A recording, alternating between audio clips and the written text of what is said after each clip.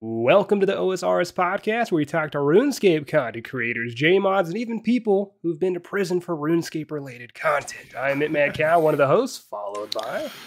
What's going on, boys? Raikesy as always. And hello, it's me, Rice Cup. So today we have a legendary folklore of a man by the name of Mr. Josh Pillault. Hello, everybody. Hello. Pleasure Yeah. to be here. Should we Uh, do do the I- sellout real quick before we uh, get too deep? you want For to the start with the memes. sellout? yeah, for the Okay. memes, bro. For the memes. So, uh, I read the comments in the last video, and I don't know if I'll ever read the OSRS podcast comments again, but I thought it would probably make a lot of sense that if we were to hit a thousand likes on this video, that we promise to never talk about cryptocurrency again. You guys know you want that. Yeah. Better And smash also- that like button right now. Yeah, please. Yeah, we also got uh, another s- sellout thing that we have to fulfill. You know, in in in replace of Mr. Raikesy's uh, beautiful hair not getting cut. So we should have one of those coming up soon. It's has to do with TOB. So yeah. Anyways, how you doing, Mr. Josh? I'm doing well, man. Should I just give the brief rundown real quick? Yeah, yeah, yeah. Tell us a bit about yourself. You know, like I'm the uh, youngin' Josh days. The Youngin Days, that's great. That's a good place Yeah. to start because I started Yeah. RuneScape in 2004. I was 11 years old. I found it on MiniClip. I uh, never played any nerdy games, if you will, like that MMORPG style. And it said, uh, you know, collect coins, kill dragons, and complete quests in this massively multiplayer. And I was like, that's just the dopest shit I've ever heard in my entire life. I clicked on it and never looked back. But uh, the reason that I have any degree of notability, whatever I do have, uh, is because in 2012, I got in an argument with an online player when I was 19 at the Grand Exchange. I was excessively intoxicated and I threatened to commit a massacre. Um, it was relevant to the argument that we were having. It's not like I just randomly proposed this. Uh, it was pertaining to the argument at hand. I'm not sure exactly what all I should say on what channels, you know, but uh, you can check it out on my channel because I don't care about getting demonetized and all that good stuff. And, so I don't talk about on other people's channels, but my channel's got a lot of it. Um, and pretty much the only reason I'm notable for that is because of people like Moplox, Crumb, Silent Core, etc., that have done videos about me and about the case. And it was definitely an interesting legal conundrum, that's for sure. Yeah, I mean, is this the first ever case of someone going to prison for something like this? Um, I believe that mine was possibly one of the first, as far as like ones that received a reasonable amount of attention. But a few months after me, a kid got way, way, way more media attention than I did. His name was Justin Carter, and he said something similar on League of Legends. Um, both of us stated that we were being sarcastic after we said it. Uh, he said, "LOL, I'm JK," and I said it's called sarcasm. That didn't stop the FBI. Uh, his case got a lot more publicity than mine. Uh, last I heard, he was still pending trial, actually, and that's been he got arrested just a few months after me, and I was in 2012, so uh, he's clearly had a long, drawn out process. But Oh to the best of my knowledge, I'm the OG as far as getting arrested for false threats on online video games. yeah. Yeah, so Go yeah. for it, Rice. All right. So before uh, you know, obviously the whole prison stuff, right? Like, what what what kind of what kind of person were you like, right? Like you sounds like you were drinking a bit. You know, you were drinking a bit, right? Like, what kind of RuneScape player were you, and what was like your mindset, you know, in your life at that point, right? Like, you're 19. That's like a critical point in life, right? You're like maybe go to college, stuff like that. You know, what's yeah, going on absolutely. your? No, great question. Um, I was an absolute degenerate, not in the mean way. Uh, I don't make any attempt to hide this or deny it in any way. I had a very bad, severe history with drugs and alcohol. Um, I didn't have a job at the time of my arrest. Uh, I was really mooching off of people. A bunch of factors that really looked bad when you combine it with, you know, the threats that were said. Uh, when you put all this on paper and take it before a judge, it looks pretty severe. Um, I will say that in my heart of hearts, I always tried to do what I believed was the right thing. I was just very selfish at the time. Uh, my RuneScape gameplay, I didn't know it at the time, but was absolutely mediocre. Even Hmm. with uh, dungeoneering and summoning added to the game, my total on my Iron Man now is still higher than it was pre EOC. Um, luckily, I was in jail when EOC came out, uh, so I missed the drop of it. But uh, by the time I got out, obviously old school was a thing. Uh, but to be totally honest, man, no, I was not a very good person before I got arrested. You know, I was a I was a drinker and a drugger and and all the things that go along with that. But um, I'm very much uh, a big attitude of positivity and helping people with tips on sobriety, et cetera. Nowadays, I've been sober for a long time. I'm 28. I'm married. I have a daughter. Everything's going great now. I made it through it, and you can too. And yes, I'm talking to you, whoever you are. You can make it. I promise. big congrats on uh, you know the family and all that. Honestly, Thanks, man. It's a lot better than it was when I was 19. I was definitely uh, kind of a trashy person. So, like I said, once the threats came up, and then I'll go to a court of law, and they got all this stuff about these factors of my life. You know, I dropped out of high school, et cetera, et cetera. It just looked really bad. I'm not gonna lie about it. The case isn't quite as black and white as it might seem from like a, a title or a headline. But uh, at the end of the day, I don't think that anybody possibly could look at my case and believe that I was serious in any capacity. And uh, for anybody who wants further information, I won't refer you even to my channel. I'll refer you to the Crumb documentary about it because he did a phenomenal job. He didn't ask me a single question. He did his own research, and it sums it all up there, basically. Yeah, what were you saying, Damn. Mint? Oh, um, I don't even know. I forgot. My bad. Um, no, no, that was great, dude. I I'm learning a lot here about you. Uh, so do you? So apparently, had mediocre gameplay on RuneScape. Did you ever PK? I just gotta ask. I tried. Uh, my first experience with PKing was 2005. Uh, I ran out in the wilderness with a mithril scimitar and a mithril plate body and some lobsters. I was free to play at the time. I PK'd a guy and got another mithril plate body, which somehow mine had taken me forever to save up for. I don't, I don't fucking understand why it took me four weeks to save up for a mithril plate body. But anyways, uh, I got absolutely hooked on it, and I then proceeded to spend the next two months running into the wilderness, losing all of my shit every day because I was 12. Um, back then, of course, PKing was not what it is now. We didn't have the mint mad cows and the frames of the Torvestas back then. You know, we had put your weapon on and hit them. And if I would have had a high enough level of membership, you know, maybe a spec when they you think they're low health. It was very, very basic at that time. Uh, I tried again in 2012. I didn't know anything about it. There's a YouTube video of it that I'm not going to shout out or tell people about at all, where I tried to PK, and I literally only brought ancients. I brought ice barrage, nothing else. A bunch of rocktail lobsters or whatever the hell they're called on RuneScape 3, and uh, like a brew and barrage. And I thought I was about to get some work done. Uh, I actually got one HP and Ring of Life out. And now looking back, I'm like, ooh, I wore a Ring of Life in PvP. That was a bitch move. Oh my It god. worked. Yeah, it worked. He didn't get It my worked. arums. He didn't get my arums and my ancient staff. I'll tell you that. He didn't get that. But uh, I, uh, I'm not very familiar with PvP. And let me say this real quick, guys. In my opinion, I know this is totally random for me to throw this in here. Guys, the same thing is happening in politics in America, okay, America right now. If you cannot imagine the mindset of the opposite side, you will be hostile towards them, you will be aggressive towards them, and it will cause nothing but division and anger. PKers and and PVMers, guys, we got to see both sides of this here. They're having fun. PKers are players too. Give them their damn updates. Quit crying about it as part of the game. I'm sorry. And that's coming from an Iron Man. I personally am not much into PKing, but bro, if I'm killing Callisto, I'm fair game. It aggravates me. It's an inconvenience, and I'm not risking anything. But damn it, it's your right to do it. So I just hope that everybody goes. You know what? They're still players of our game. I love this game. I want it to thrive. I want PKers to play the game. I want the longevity here.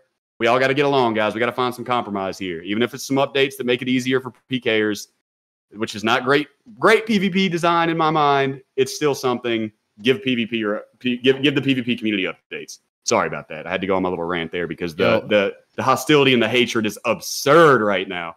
Hey, I will Not never stop a rant like that. All right, that was beautiful, dude. I always find it weird that the RuneScape community is so divided, even though we play the the same hipsterish JavaScript point to click ass game. That's what We're I'm saying, bro. We don't have the numbers to be fighting amongst ourselves right now, makes man. We're in a crisis. this is a crisis right now. You can't be this divided, you know. Um, oh hell, I was gonna say something else about. It. I just hope that, that PVM and PKers, man, look, it's a part of the game, and I I understand. I had a friend put it to me like this, and it and it made sense to me because people always say, you know, don't go in the wilderness if you don't want to die. The guy said, does that mean if I go kill Corp at the core player, I should expect to get crashed? Because you can, because that's what it's for. I mean, the layer is for killing Corp, right? So if somebody else comes in and starts doing it, the fact of the matter is it's a dick move. And I said, they're having fun, bro.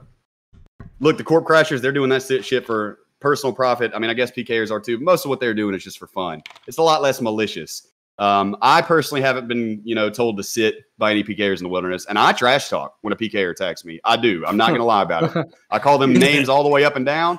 I call them thirsty. I call them sweaty. I'm gonna call them all that. I'm way more toxic towards the PKers than they are towards me. That's a personal issue, and I take responsibility for that. But at the end of the day, guys, it's allowed. I hate that I got to go in there for my dragon pickaxe, but I'm gonna do it. And if I get attacked, you know what? Good luck, bro. I got brews and I got my combo eats, and I'm ready to go. And you got a big mouth. I can't I got, believe- and I got fast fingers. I can't believe you trash talk, dude. I would have never expected it. hey, you'd be surprised how much I get that, man. Especially if I'm like sarcastically being toxic on stream. I went to grab an eclectic impling at Castle Wars a few weeks ago. Iron, by the way, obviously. I got to go grab it. I don't have Ranger boots yet. And uh, some other iron ran up and grabbed it, and I said, "You motherfucker!" And he says, "LOL." Snape grass, and I was like, "You deserve it." And they're all like, "Josh, man, Josh, man, that was toxic." And I told him, I said, "Bro, I'm sorry. I was just kidding. You got there first. That was fair play."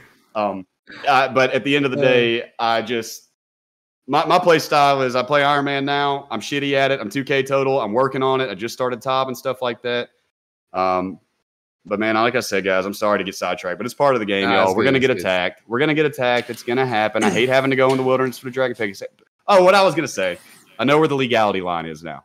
That's the important part to my trash talk. I still talk mad trash, but I'm fully aware of where that line in the sand is, where the American government says stop. Yeah, you, you know cannot say more than this. You know it best, bro. Oh, I studied it. Yes, I know exactly where that line is. I'm aware that you can say conditional statements. You are completely allowed to say, if somebody blows up the moon, I'm going to shoot the president. That's a protected statement. Why? Because it's conditional. You said F this, then that. That's conditional. That's legally protected. What I said was not. Not even Oh close my to legally god, protected. man. Yeah, I'll take a note from that. All right. Yeah, what the? So Keep that in if we if we go back to the prison talk, then so it, you were 19 at the time when you made these threats. Is Yep. that correct? Absolutely. And um, like, talk us through the process. So obviously, you sent these messages. A player reported you in game, and then like, how long are we talking before you know the police get involved? Was it the police? Was it the FBI? Like, what what was the whole thing that happened after that, and how long did it take? Okay, so I got raided four days after I made the threats. Um, as far as the process that went on behind the scenes, the, the FBI became aware of this situation less than an hour after I said it. Okay, but it Wow. took them four days to secure the warrants, to get the team together, and to come kick my door in. They didn't actually have to kick my door in; they were about to, but I opened the door just in time. Uh, metaphorically, kick my door in. Um, yes, I got into this argument with this player.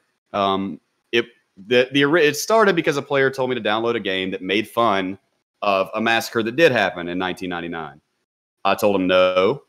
Another player saw the name of the massacre and came over and just attacked me. He said, "You're a dumbass. Don't talk about that. You're fucking stupid, man." And and so I just was drunk and I said, "I'm going to do it." Ha ha ha. He reported me to Jagex. Jagex received the threat with absolutely no context, no other information at all, and they did what? And that good God, how much flack did they get for this from everybody but me? They did the only reasonable option and reported it to the local police. I just found this out a month ago. They didn't call the FBI; they called the local police. Oh, They're the ones that called Wow. the FBI. And Jagex is supposed to call the FBI because it's a different country. um, so uh, a J Mod, I know his name and all that. He um sent the threats to the FBI or to the police. The police sent it to the FBI. They secured a warrant. Four days later, they came and got me uh, with transmitting threats to kill and injure the person of another, and transmitting threats to destroy buildings by means of fire and explosives. Which, in my opinion, I didn't technically do, but the law is broad. So it was about four days from the time uh, I made the threats October 4th of 2012. I woke up October 5th and I was permanently muted. Logged on to a free to play pure account that I had um, and gave my main account away to somebody and I started playing World of Warcraft and that's what I was doing when they showed up a few days later. Unfortunately, I was also listening to Rage Against the Machine and that's probably why I got so much time. Oh, man. The, the machine showed up at my house while I was playing Rage Against the Machine. So Man.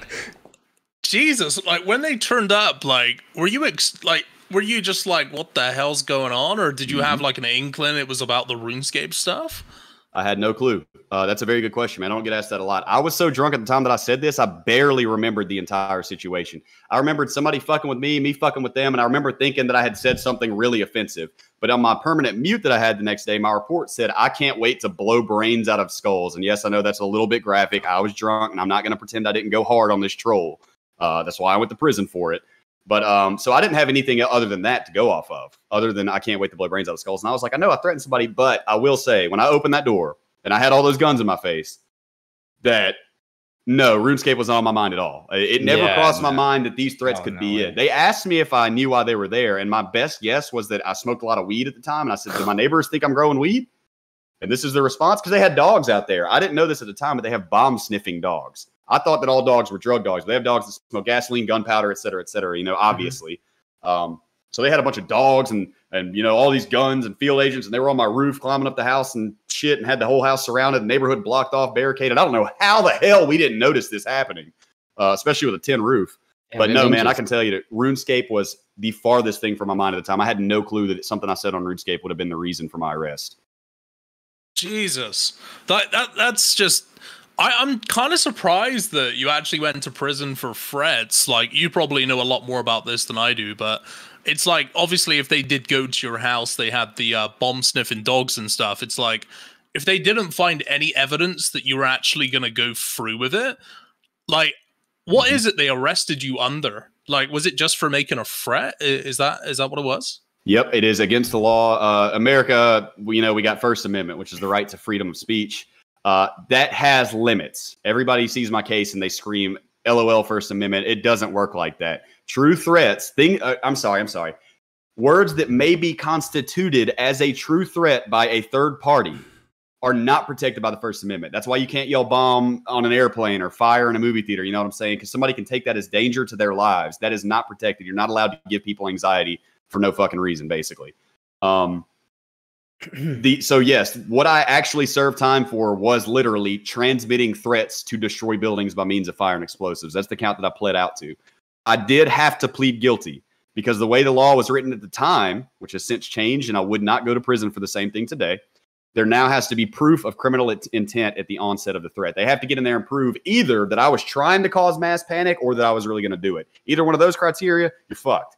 But as long as they go there, they're probably going to prosecute you, give you some probation, but you're not going to go to prison for it. It is also worth noting that, as you said, nothing was found in my house. No guns, no drawings, no bombs, not a BB gun, not a pocket knife. I had literally nothing dangerous at all except for some illicit substances in the drawer by my bed. That's the most dangerous thing in the whole house.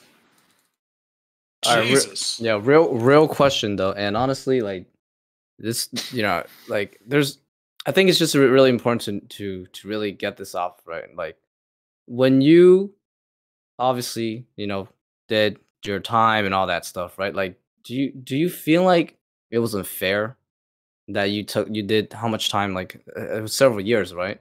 Yeah, I served six years total. Yeah. Did you think did you think it was fair that you went to prison for six years just over saying these things? Like obviously saying these things is absolutely wrong, right? Absolutely. And, and in today's uh, new ruling, it would it would not get you in, into six years or anything close, right? But like Yep. really, do you do, do you feel like that was a was a bit too much in your opinion? I will admit that yes, uh, my entire perspective on my case, people think that I'm out here saying I did nothing wrong. That's not my point, and it never has been. My point is that the sentence was excessive, that the American government went completely insane because they tried their hardest to prove that I was serious. Instead of saying, we checked it out, we did our job, we're glad, kid, you're getting a slap on the wrist and some probation. You know, they, they went insane. I mean, they, they, they because my case got a lot of publicity, they were looking like assholes. During my time in jail, it was 17 months from my arrest to my sentencing. 17 months I was in there. During that 17 months, according to Crumb, there were over 40 mass shootings in America. They had a point to prove, man. I became a scapegoat for something that is way bigger than me. I, as just this 19 year old stoner drinker kid that likes to skateboard and play guitar. You know, this was something a net far bigger. And it's funny to me because in retrospect, man, this was never something I ever imagined that I would be like semi wannabe fake activist about. But the American incarceration problem is absurd. We have one thirty third of the world's population and one fourth of the world's prison population, but that's a topic for another day. I spent two years in there writhing, Rice Cup. I spent two years in there steaming about it, and I was doing drugs in prison and and mad at the world and and like just I, it was eating me. It was eating me because there were lies that were told in my case by people that I knew. This whole agenda came together. Um, and, and it was just absurd to me, you know, that that at this age that I would get this much time from a judge who is very well known as a fair judge, might I add. He is a very, very good judge, and I have to admit that. For cases other than mine, he is well respected. He's known as a as a compassionate guy. Um, yeah, man, it definitely felt unfair. It felt excessive, and in retrospect, it still does to me. I don't regret the fact that I had to serve the six years now. I'm married. Somehow I managed to get a living on Twitch, twitch.tv slash jpillault. I know it's a doozy, but you can see the spelling somewhere around here, guys. Link in Um, the description. Thank you. Link in the description, right down there, guys. Um, it's it's the reason that I am who I am today. I wouldn't have met my wife if I wouldn't have been at the halfway house at the exact time. I even got in trouble in prison, which moved my date of release back 52 days. Had that not happened, I would have never met my wife. Like now, I've got a beautiful baby girl, man. I'm somehow managing to keep the lights on and keep us fed from Twitch, playing a game that I still love with a complete and full passion. Um, it was my path, man, and it, it sometimes sometimes our paths suck. And I'm not trying to get all hippy dippy or spiritual on anybody, man, but sometimes our paths suck. But the way that I see it is what doesn't kill you make you stronger. It's a cliche for a reason. and uh, you're going to be a better person at the end of it, man. Someday, all the terrible shit that happens to you is just going to be a bad memory. Sometimes I can't believe I did that long in prison. You know what I mean? That's it's still unfair. At the end of the day, Yeah. it's unfair. I agree. It's unfair. I shouldn't have done six years for that. Punishment was deserved. People think I'm not saying that. Intervention and punishment was absolutely warranted in my case. Six years was fucking too much, man. That's my only position on it. Dude, Mm. like, it just seems so crazy that you would spend six years of your life behind bars for making effectively an empty threat with no proof that, like, like there's like no proof that you were actually planning to do anything at all. But like maybe maybe your case is the reason why they've changed that now and you can't quite just go to prison for saying that kind of thing. I don't know. But do you know, it's funny before this podcast, I was just telling these two that um, when I was young, I did something incredibly stupid on RuneScape as well. And um, I hope this doesn't piss you off telling you this, but basically, I was muted. This is back, God, it must have been in the early 2000s. So I, I was like, you know, really young. I was probably, I don't know, like 14, maybe 15 at a push. I got muted in game and um, I was really annoyed. And uh, I, at the time, you could put in like a request to be unmuted or unbanned or whatever it was. I remember those. You could type freely.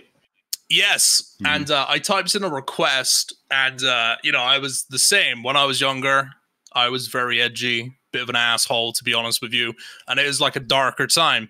Mhm. So I thought it'd be funny to just write in some bullshit, and there was like it was a quote I think from a film, and I can't remember what film it was, but I effectively like I typed to Jagex saying, "If you guys don't unmute me, I'm com- I'm coming to Jagex HQ and I'm gonna pump you full of lead." Like I literally typed that. And you know what the crazy thing is? They unmuted me straight up. yeah. So my my my mute got taken off. And then like a day later, I got another message directly from Jagex. I can't remember who it was, but they basically just said like, you know, we don't tolerate this kind of stuff. And I, I can't really remember what they said exactly. Um, but yeah, like I said something really stupid when I was super young. And um I got unmuted for it, but I never spent any time in prison. I never had anything past that email from them. Yep. It's crazy. Like it, it's it's it's kind of nuts to think about, really. See, the way that I probably, I personally view that, no, it absolutely doesn't piss me off at all. I believe that this is Jagex handling things in a way that's appropriate. In this case, it dealt with them and their building and themselves, you know, and they probably felt like, okay, this is probably fake. We can handle this or whatever. But when it's dealing with third parties, especially all the way across the ocean where I am, they have absolutely no clue as to the credibility, you know. Um, I would like to reiterate real quick that Jagex got subpoenaed to come testify on my court case, and they told him, hell no. Jagex was asked questions about my case in the lingo of the game, and they said, We don't want anything to do with this. A lot of people tell me that Jagex owes me an apology. I'm friends with J Mods, y'all. The J Mods that have been on this podcast are friends of mine, you know. Uh, I tweet at Mod Ash all the time. I just tell them, have a good day. You know, you can count yourself as a friend of Mod Ash if you've ever tweeted at him. Um, Jagex, man, they had no choice but to do what they did, and I'm not upset with them at all. The, the- what they did was absolutely appropriate. It was the only option that they had. It was perfect, in my opinion. It's the American government and the FBI and the overzealous prosecution system that led to my demise. So just so nobody in the comments is all like, "Oh my God, Jagex, oh, they should apologize and give them free membership for life." They had no choice. I left their hands tied, Yeah. in my opinion. Yeah. It, it was I mean, pretty much America. yeah. Yeah. exactly. America got Yeah. me. Um, so you alluded to a lot of like pretty dark themes, you know, like the whole um, you know, for for profit prisons and like you know how all those things kind of lead to incentives for people to get arrested and stuff like that, you know. But that's not Mhm. necessarily what you got arrested for, but but like you But know, you, it you hurt. definitely you know kind of got caught in this whole big scheme of you know this system of ours, right? There is definitely a Mhm. lot of dark stuff that we can't really go deep on, but like you know, you know that you were unfairly, uh, uh, you know, arrested and then sent to prison for six years, and you said for a year and a few months you were just absolutely, like, you were just Miserable. absolutely annoyed uh, by Mhm. everything, right? So what, what kind of made you, what, what changed? You know, what like what happened, or, or what inspired you to be like, you know what, there's, there's a better way to look at things. You know, like what's Yeah. like, what's happens happened. How do you move on? Like, what caused that? You know. That's an like, the excellent question, man. Um, this is going to sound probably super corny to a lot of people, and I'm no longer a practicing Buddhist, but I found Buddhism. I found a book about it. It was absolutely beautiful to me. It was very consistent with the way that I felt that I truly was the real me, not the me that's got this fake, you know, I just want drugs and this this jaded persona. It really hit me to the core.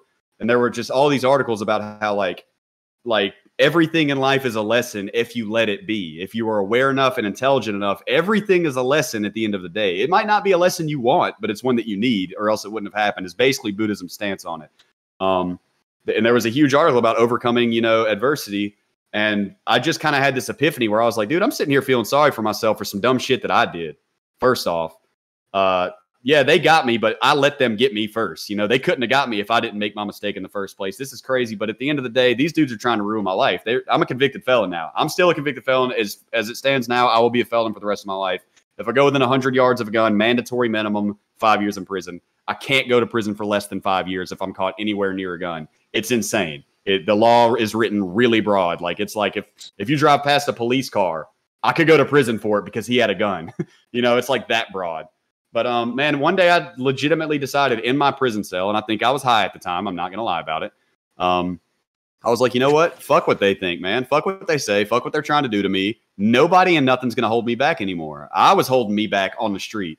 I was the kind of guy that wanted to lay in bed and get drunk and blame everybody else for my problems while my life was going badly. When I wasn't going out there putting in job applications, I wasn't out there trying to make myself better, applying to schools. I had absolutely no, I was just treading water basically, man. And I decided, I said, you know what? I'm the one who put myself here. I'm the one who made me a drug addict. I'm the one that dropped out. All this stuff is shit that I did, but I can fix it. I'm still alive. It's not too late. Nothing and nobody's going to hold me back anymore. Whenever I get out of here, I'm going to do phenomenal. I'm going to stay sober. I'm going to try to meet a good girl. Uh, I'm going to play RuneScape and, and maybe an education and get a good job. Like I had, you know, I just kind of had this epiphany. Unfortunately, the first time that I was released from prison, it didn't work out like that because I went buck wild and I went right back to prison for another year. But um, man, I legitimately had just an epiphany moment where I decided that nothing anybody said was going to define me. I wasn't going to let this felony stop me. I wasn't going to let prison stop me. It was in my hands, you know. And I know that so much of what I'm saying sounds like the most cliche nonsense to people that they probably can't buy into. But cliches are often for a reason, you know. Agreed. Agreed. No, it's so you, powerful, man. It's powerful, dude. I mean, like, you know, I, I hear a lot of stuff about people that go to prison, and I, I'd like to ask you know, what was your experience like in there? Like, you know, I imagine your inmates, the people that you made friends with or maybe were enemies with, like, what did they think about the whole thing? Because at this point in time, I, I, imagine a lot of people in there, firstly, some of them probably didn't even know what the internet was because it was so mm-hmm. early on. And like, secondly, they're probably like, how the fuck did you get six years for making a threat on the internet? Like, how does that work? So how, how did they treat you? What did they think of you? And how, how was your time with the inmates when you were there? For sure. That's a great question, man. Um, a lot of people naturally assume that me having been a RuneScape player and kind of a, you know, a nerdy, bookish guy, if you will, despite the fact that I have no education, uh, would have had a really rough time in there. But in my opinion, and I feel like a lot of ex convicts could agree with this, there's kind of roles in prison, you know? You got like pretty much everybody in there is going to fall under four or five umbrellas. You know, first you're going to divide by race because everybody has to divide by race in there, obviously. But after that, you got like the guys that are the gangster drug dealers, you know, the crazy violent guys. Then you got, you know, uh, the guys that are just doing their time, the independents that stay out of the way and just want to read books and watch TV and they're not trying to do drugs or fight or anything like that. They have a sentence they have to serve. Um, there's just these broad categories, sort of. And I fell under the musician category because I ended up playing guitar for about seven hours a day uh, for years on end because it was just my release and my escape. And I studied music theory and really, really became just absolutely best friends with a guitar out there on the rec yard. You could go to the rec yard, turn in your prison ID, and check out a guitar. Uh, the idea is to make sure you don't steal strings from it uh, for tattoos. Um, yeah, so my role was the funny guy. I like to shoot the shit. I like to be sarcastic. I like to joke around. You know, nobody takes me seriously. They don't think that I have a big ego because in prison, two dudes thinking that you have a uh, you have a building that has a thousand men in it, and every single one of them is the toughest motherfucker there. It's amazing. You know what I mean? Like, so there's all these ego clashes, and I just went in with no ego. In county jail, I had ego. When I got there when I was 19, I acted like all 19 year olds do in jail. Uh, you know, somebody like, hey man, are you gonna eat that? Yeah, hell yeah, I'm gonna eat that. Why are you asking me that? Luckily for me, my drug doing, crazy street running life that was totally separate from my RuneScape life kind of prepared me for it. I was street smart. I had I wasn't scared to fight when I was in high school, and I don't even like saying that because people think I have a big ego or something like that. Everybody gets their ass kicked every now and then. All right, it's part of it. Um, but I went in there with no ego, man. I had a good time. I hung out with black guys. I hung out with white guys. I hung out with Hispanic guys. I learned how to speak semi-fluent Spanish just hanging out with Mexican dudes in prison. You know. Um, so Mm-hmm. by not associating myself with one particular group, I didn't have any issues with the other groups. And I kept my head down and I did my time, man. I did not join a gang. I'm not trying to sit here and be like, yeah, bro, you know, repping my set. I was holding it down. That's not me. I'm not some big tough guy. Um, the prisons that I went to were violent. They they were medium high securities. I was the top threat level for my charge. My age group, my crime, and the fact that I dropped out of high school, I almost went to one of the extremely violent prisons called USPs, United States Penitentiaries, the high level, but I went to a medium high. And obviously, you got to fight, man. I mean, I had my scraps. I won some, I lost some. If somebody says something disrespectful or tries you or whatever, I mean, you have to. There's just no choice. And you're not going to die. If, if anybody here ever goes to jail or prison, bro, they're not going to kill you. Not you have to owe them 50 grand, man. You can handle a punch in the face. It's not that fucking bad. So you stand up for yourself, man, or else they're gonna they're gonna take advantage of you. They're gonna try to take your shit. Don't be scared. They don't care in there if you win or lose your fight. They care that you fought. You know what I mean? Don't don't hmm. brew up and run away. He's Stand speaking to Yuri. nah, I'll be like, yo, let's talk. Let's ju- hey, hey, hey, let's just talk this out. Hey, hey. Send them a trade request Yeah, and give tell them a couple good GP, you know. Luckily, luckily I knew my way around the dragon dagger, you know what I'm saying? So yeah, I like, look, I came in used there to with fight. the DDS. I, I used to fight myself when I was younger. Okay, so Uh, you know, so I'm the real village practiced. life. You know, the village life, dude. Yeah, it's right. Yeah, Rice used to live in a village, and apparently, uh, well, so you want to talk a little bit about your village experience, Steve, since we're talking about fighting? Wait, you legitimately lived in a village? Yeah, for yeah, real? yeah. I'm yeah. I live. Well, you know, I'm an immigrant. You know, I'm a fob, fresh off the boat. You know, but yeah, I mean, it doesn't really pertain to this. But yeah, when I was younger, you know, I lived in the village, and uh, you know, fighting and stuff is kind of normal, just because you know, kids they talk stuff, they talk shit, they might spit on your face, you know, and you you gotta be like, yo, what the hell, you know, you get, and then you Mhm. gotta fight back. So. And then you get caught because then people snitch on you, and then you get beat up by your parents because they're like, "Yo, you can't do that," you know. And then you, you just get your lashes. I'm like, "Oh god." You're first generation immigrant, man? Nah, I'm, I'm like a second. I'm second. Oh, okay, but Yeah. you were still raised, in, and, and that's awesome, man. Yeah, yeah, yeah. You mhm. must have come here really young. Your English is flawless. Oh yeah, yeah know, probably when I was like eight or something. You know. That's Eight impressive, man. I, I met dudes in there that lived in America for 20 years, and they still had terrible accents, couldn't hardly talk. Yeah. Um, Think, think decent education in phonics. You know. Yeah, we don't have much of that in America. Just kidding, just kidding, guys. Some So- places do.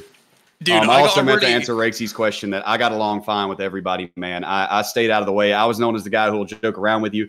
People that, I, when I was doing drugs in prison, people, if they had a good amount of drugs, they wanted to come do drugs with me. You know, this dude's fucking funny. Let's sit in the cell, get high with him, man. He's going to sit there and just shoot the shit and he won't shut up. And we can just sit there like, uh-huh, uh-huh, uh-huh. So, you know, I, I did all right, man. I, I didn't have any problems with anybody. I just tried to keep it cool, keep it funny, you know. And I went to band practice six days a week. I was in like four or five different bands because musicians were limited. And I will admit that I was better than the other guitarists there. So everybody invited me to their band, and I filled my days up, man. You know, you get into your No. routine, and before you know it, holy shit, it's been Yeah. six months. Holy shit. I remember the day that I was 19 months to the day from getting out, man. 19 months left, and I was so excited. I was like, I'm in the teens. I'm in the teens. We can do this. I've got 19 months left to the day, man. I'm gonna get out of this bitch. 19 months. This is awesome, and it, it's crazy. It- It's really mostly a story, and, and we'll get back to you know the group conversation here, but it's really mostly a story, in my opinion. Prison is all about a salt grain of hope can get you through anything, man. It gets humans through the worst, most devastating, horrific experiences in life, and that one little grain of salt of hope will keep a motherfucker alive and keep you going. And you know, you just got to get into your routine, man.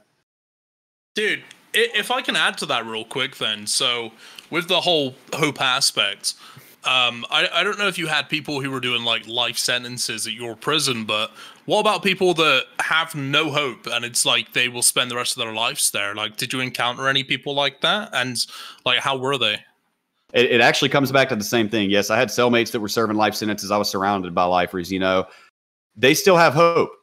Realistically, zero. Inside of their heart, inside of their belief system, that little salt grain is getting them through it. Uh, I was actually fairly good friends with a very, very, very famous uh, drug dealer kingpin uh, known as the Black Hand of Death. I don't have any problem shouting him out. He's my boy, uh, Clarence Heatley. And let me tell you, he's doing life plus 255 years or something like that. Um, he allegedly, I don't think they proved it, kidnapped Bobby Brown, and Whitney Houston paid his ransom directly into this guy's hand. Uh, he's a full fledged gangster, and he's not getting out of there. He's not, man. I love the guy. He's funny as shit. He's got one of the darkest senses of humor now that I've ever met. But for 20 years now. He he legitimately has a pair of shower slides that he wears to the shower older than me.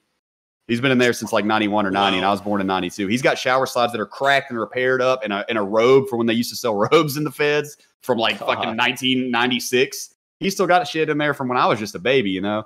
And that The man wakes up every day. Yeah, yeah, the limited edition. They don't sell them there anymore, so it really is. Somebody would give him like four hundred dollars for that robe in there. I'm not kidding. If you can't get it, if it's exclusive in prison, motherfuckers will pay you anything. I mean, it's it's like similar to rares and RuneScape. You know what I mean? When you're the only one that's got it, it's whatever price you want, even if it's useless. Third age pickaxe, we're looking at you.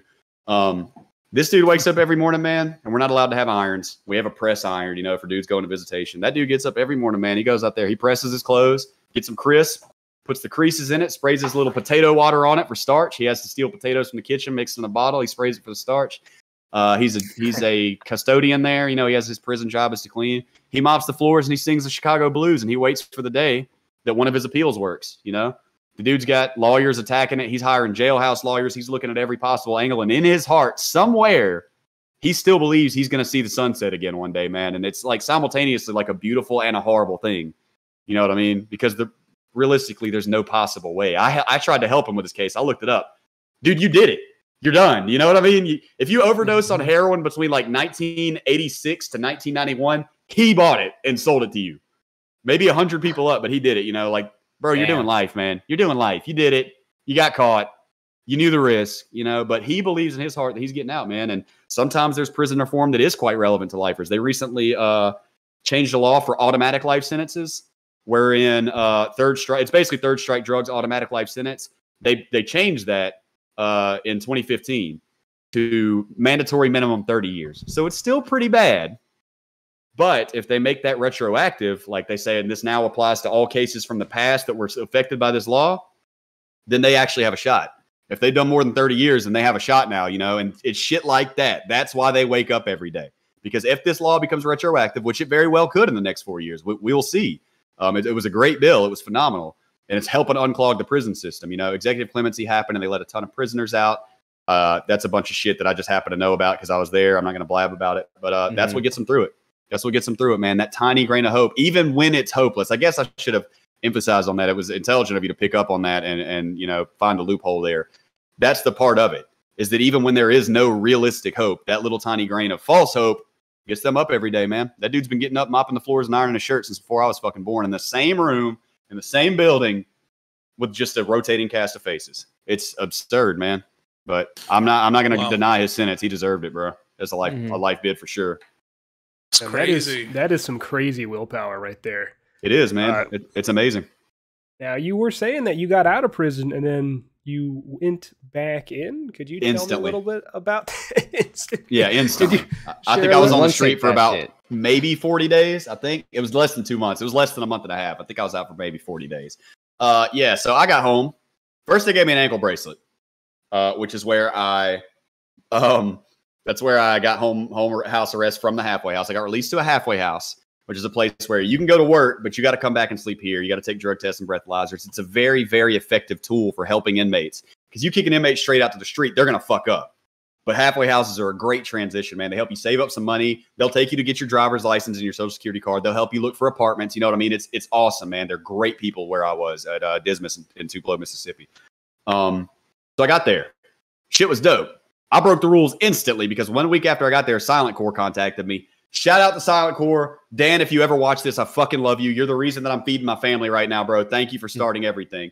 But anyways, um, he did a video interview with me or uh, a Discord call, and I'm sitting here going, "The fuck is Discord? What what is this? How do I join?" And he's like, "Hang on, hang on, I'm gonna call you." And you just push answer, and I'm like, "I'm fucking this up. My phone's gonna explode." I'd never had I never had a touch screen before I went to prison, so I got out in 2017. I had my first. Yo, touch you're like screen. a caveman, you know? when you Exactly. Yeah, for real. I was like a grandpa. People still call me a grandpa because I don't fuck with that Snapgram and InstaChat and all that stuff. I don't know anything about that. I wasn't there for the rise of it. Instagram was a thing, but we used to say, "How much does a hipster weigh?" And Instagram because it was so Remember yeah, it was so unpopular. Like it was only for fucking hipsters. oh, Um, now it's blowing up. Oh, already yeah, now up. it's the the most probably the most popular fucking format. But back then we made fun of it. Um, funny. so I got to the halfway house. That was chill. I did the phone call with Dan. We talked for 30 minutes. He made a video out of it. I instantly got written up. FBI got pissed. They're calling. They're trying to send me back to prison because you're technically not allowed to do media interviews. The owner of the halfway house loopholed it and said this was not media. This was social media, YouTube. He did not do it himself. He didn't upload the video. She saved my ass. She's a wonderful woman, and everybody complains about her. It's just like the J mods. They're doing their best trying to help people and make this Mhm. shit better, and everybody just complains about it. Same thing at the halfway house. Um, so at the halfway house, I was doing good until uh, a friend of mine had some Suboxone, and I used to, uh, which is an anti, you know, to help you get off of opiate addiction. It's a medicine, but if you're not addicted to opium, it makes you feel like you're on it, like opiates. I mean, it's very, you know, naughty opiate type. Um, so I did that, and I have a drug problem. So once I did that, the door was open. I'm not gonna lie about it. People know it. I have a drug problem. I've been clean for years now. Don't get me wrong, but it's still active. It's waiting on me. Um, Don't touch it again. You know. Oh, I'm not. I've got way too much to lose now, man. Everything is built on the foundation of my sobriety. I got my just for today bracelet on. I've been wearing it for years since I got out of forced rehab for th- for uh, my probation. Uh, halfway house went smooth. They gave me an ankle bracelet. I worked a job. It was a shitty job that I was working uh, the first time around. I was working at Sonic, you know, making all right money, but I was going home to my mom's house in the same hometown where I got arrested with all the same people that I grew up with, with all the same people that I was doing drugs with, uh, with no Oh. change whatsoever. And confused as fuck and having anxiety for the first time in my life. I'd never had anxiety before. I thought it was bullshit. I thought it was something pussy said to make an excuse, you know, and forgive me for even saying that, y'all, because I've now experienced it. Every time a car drove past my mom's house, I had a fucking panic attack. I thought the FBI was there to get me. And uh, I was running around the room like, oh my God, oh my God. Like I couldn't sleep and I couldn't sit down. I've never had that happen before. And everybody's telling me to make a Snapgram. Everybody's telling me make InstaChat. Everybody's telling me you got to be a Twitch streamer. Dan's the reason I made my Twitch account. I didn't even know what the fuck Twitch was, but he said I should make one. And now that's what I do for a living. Uh, thank you. Shout out to the Strong Squad.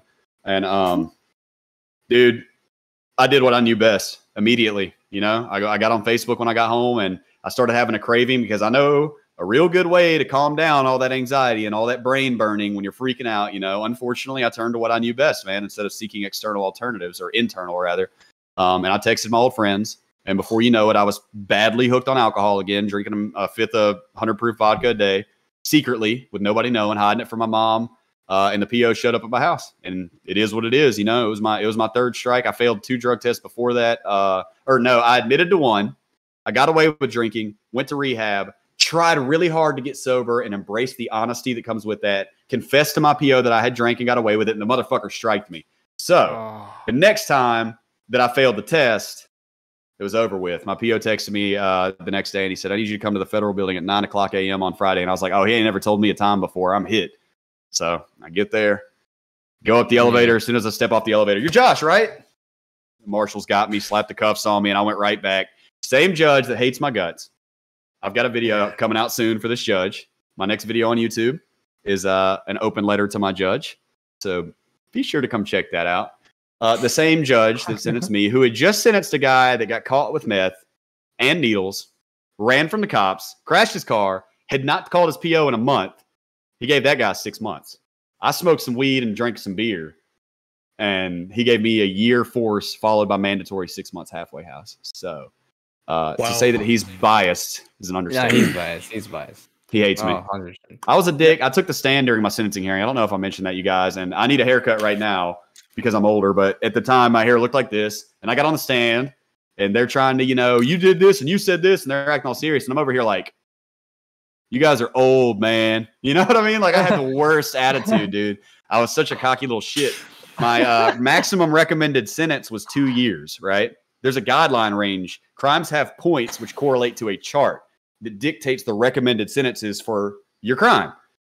With a six shit? point enhancement for intent, theoretically, it's actually not bad. It's actually reasonable guidelines. I will say that. It's just that they don't have to stick to them. They're advisory. And that's where we get the fuck ups. Um, because it's not it's not forced. You have statutory maximums. The guideline may say, okay, we recommend a maximum two year, but the crime carries 10. You can still get 10. You know what I mean? It's just up to the judge. It's called an upward departure. It means I've found substantial reason to increase your sentence above what they have suggested. My guideline range with a six point enhancement for intent to carry out the crime. They gave me a six point fucking enhancement for intent to carry out the crime because of false testimony that we disproved on the stand. But more about that on my channel. I don't know how much I should go into that here. There was allegedly, probably, in my opinion, some blackmail going on and some people lied about me. That's over on my channel. Um, So he gave me a six point enhancement for intent. My maximum recommended was two years.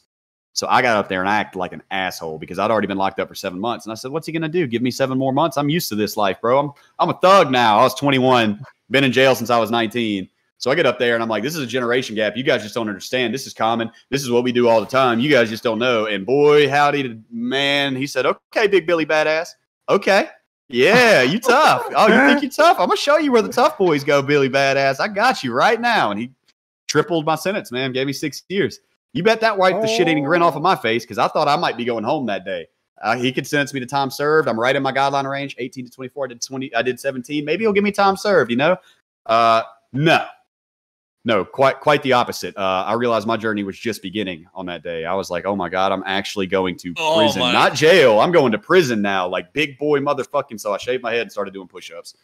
That's you know fair. crazy? That's fair. Man, this letter that you're sending, are, are you sending a physical letter to this dude? Absolutely not. Completely good. illegal for me to do that. That's why I'm putting I it on YouTube. I was gonna say, please don't, don't do it, man. You're like No, you're sir, poking Mr. the Racy. fucking wasp nest Yo, there. real- Jesus. Yo, yeah, I'm not. I'm not. I'm not poking the sleeping bear. I'm going to put it on YouTube because I know that it will eventually get to him. I've already written the letter. It's six pages. I got a mouthful to say to him. And also keep in mind, everybody, that I know where the line is. I don't wish any ill on this judge. I don't want to hurt him. I don't want anyone to hurt him. I want his life to thrive. But at the end of the day, he did the right thing for my life for the wrong reasons, and I'm about to call him out on it. And I know it's going to get back to him. I know somebody's going to show him that video. The FBI watches Oh, the shit out of my channel, and I'm not being a paranoid crackhead about that. I know it for a fact that the FBI monitors my YouTube. They hate, they hate the publicity that my case has received. It makes them look so stupid. And the best uh-huh. part about that is I don't lie. I can't lie about what they did, or they can sue me for libel and perjury and all that good shit. All I do is tell the truth, and they're embarrassed about it. That means you fucked up, not me, homie. You know what I mean? Real quick though, I didn't even know there was a difference between jail and prison. A lot of people don't. I just use the word jail loosely. Like Yeah, yeah. Most people do. And the funny thing is, once you've been, you got a real bad ear for that. Somebody will be like, man, he committed murder. He's going to jail for the rest of his life. And I'm like, nobody goes to jail for the rest of their life. You go to jail for a misdemeanor sentence that has a less than one year crime or while you're awaiting trial. Prison means you've been sentenced for a felony crime and you are serving some time. Big difference. Uh, I would much rather be in prison because I'm cool with the people and I know how to navigate. And in prison, there's guitars and there's more TVs and a DVD room and there's shit to do. In county jail, you got a room, a deck of cards, and one TV where everybody wants to watch fucking Monday Night Raw. So Monday Night Raw, yo, wrestling. Yeah, yeah, they love it. They go crazy in there for it. All the convicts in there, like, boy, wait till the Undertaker gets back in that bitch, man. Yo, you can't Cena." see me, John Cena. Yeah, they're all about that. Oh my And I actually God. heard Oh my like the smartest thing ever about wrestling too, because you know that the typical argument is, man, you know that shit's fake, right? So of course, one guy pipes up from the back my where nobody can punch him, and he's like, "Yeah, shit's." And this dude was like, "When you watch a movie, do you expect it to be real, motherfucker? We know it's fake." And I was like, "Damn, that was a really good answer, man." Yo, middle school, I didn't know it was fake, and then I was like, damn. it was so Dude, intense do you think it's real. I- I have like a, a bit of a random question here. So obviously, I'm from the UK. Uh, when you were in jail Lucky. or prison, were there any people there that were from foreign countries, and uh, do they get treated differently? How, how would I spend my time in prison if I were to be in an American ju- an American prison? First off, they would call you a trip. That means that you're fun to hang out with. The dude talks funny, you know, funny. I'm not uh, insulting your accent. You know what I mean? That's their view on it. It's like, hey, he talks cool. It's different. You know, you got a good sense of humor. The sense of humor will get you everywhere. Exotic. That's a good way of putting it, Mitzi. Yeah. It- the, the sense of I, humor will I don't think I like, man. dude. I don't think I like exotic for prison, man. I don't think that's gonna end very fucking well, bro. No. There is an exotic somewhere in prison, isn't there? I think his name's Joe. Oh Um, yeah. As far Oh, as man. foreigners, tons from Central and South America. Um, one Vietnamese guy in all my years locked up. So random. Um, yeah, he was white collar crime, but he had a history in his country, and they ended up jacking his points up. So he came to the violent, the medium high security prison with us. Uh, but he was chill as shit. He stayed out of the way and did his shit. You know. Um, there was a Jamaican, one Jamaican. He was cool as fuck. All the dude wanted to do was smoke weed. He did not care about the drug tests at all. He was like, man, didn't know stop me from smoke my ganja, man. Hey, man, I smoked the ganja. So he's over here like rolling up joints, smoking in the cell when the CO's walking around, not giving any fucks. And the dude would throw chicken bones on the ground and do all this. Oh, ah, yeah, hum, bah. I'm not trying to make fun of him. I'm giving a accurate. To me, it looked like this. But um, but no, most of them are from Central and South America if they're legitimate foreigners. Um, they essentially all have one gang if they're actually from another country. I don't want to shout out the name or nothing, but I got along with them very well. They were always very, very cool to me. The guys that were from the Central and South American countries, they loved the fact that I tried to learn Spanish and I'd ask them questions and be involved. You know, uh, they thought that was real cool, uh, especially because I don't understand Spanish. I just speak it, and they thought that was a trip. So I have a sentence that I say in Spanish where I say I speak Spanish, but I don't understand it. It's too fast for my ears because I'm a white dude from America, and they go, "You fucking with me?" And then I'm like, "What'd you say?" And they just thought it was the funniest, you know. Um, most of them are actually in federal prison intentionally uh, when they're from the Southern American and, and uh, Central American countries because, Protection. as you guys might know, American prisons have labor. Uh, they have a, process, a program in the feds called UNICOR, just like Unicorn, but with no N. I have no idea what the acronym is.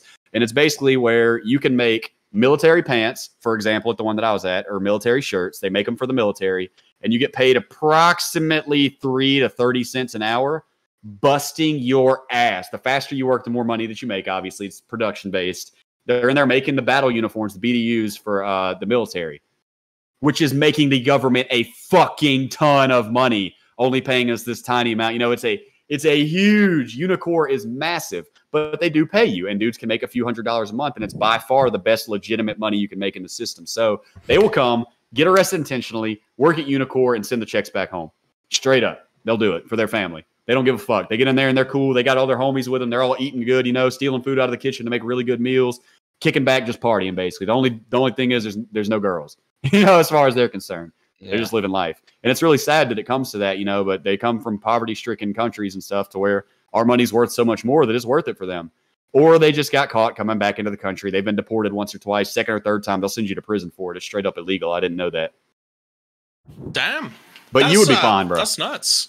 You would be fine. okay, well that that's good to know because uh, I I won't go into it, but I did get um, detained when I was actually living in America, and uh, oh, fuck. I did think I was going to be spending a night in jail. I'm not going to lie, that was terrifying. But um, you know, speaking on money in prison, so I've watched enough like prison documentaries and stuff to know that quite a few people in prison have like side hustles and things they do in there. Mhm. So, did you have a side hustle to make you money when you were in there? Absolutely did. I typed legal motions and emails for people. Put my RuneScape skills to the, put my selling lobbies 250 each 10,000 times to the test. Um, that was my hustle, and it was actually a very, very profitable hustle. Uh, I basically, it's it's amazing. It's actually a business ring, bro. You'd be surprised. I didn't come up with this or do this myself. It's a group of guys, and they have legal books, and they got the the typewriter ribbons because you have access to typewriters in prison for motions. You know, they got the rulers. They got, I mean, like, and and it's like they got a boss dog, and anybody that needs a legal motion goes to him. He will then outsource it to us.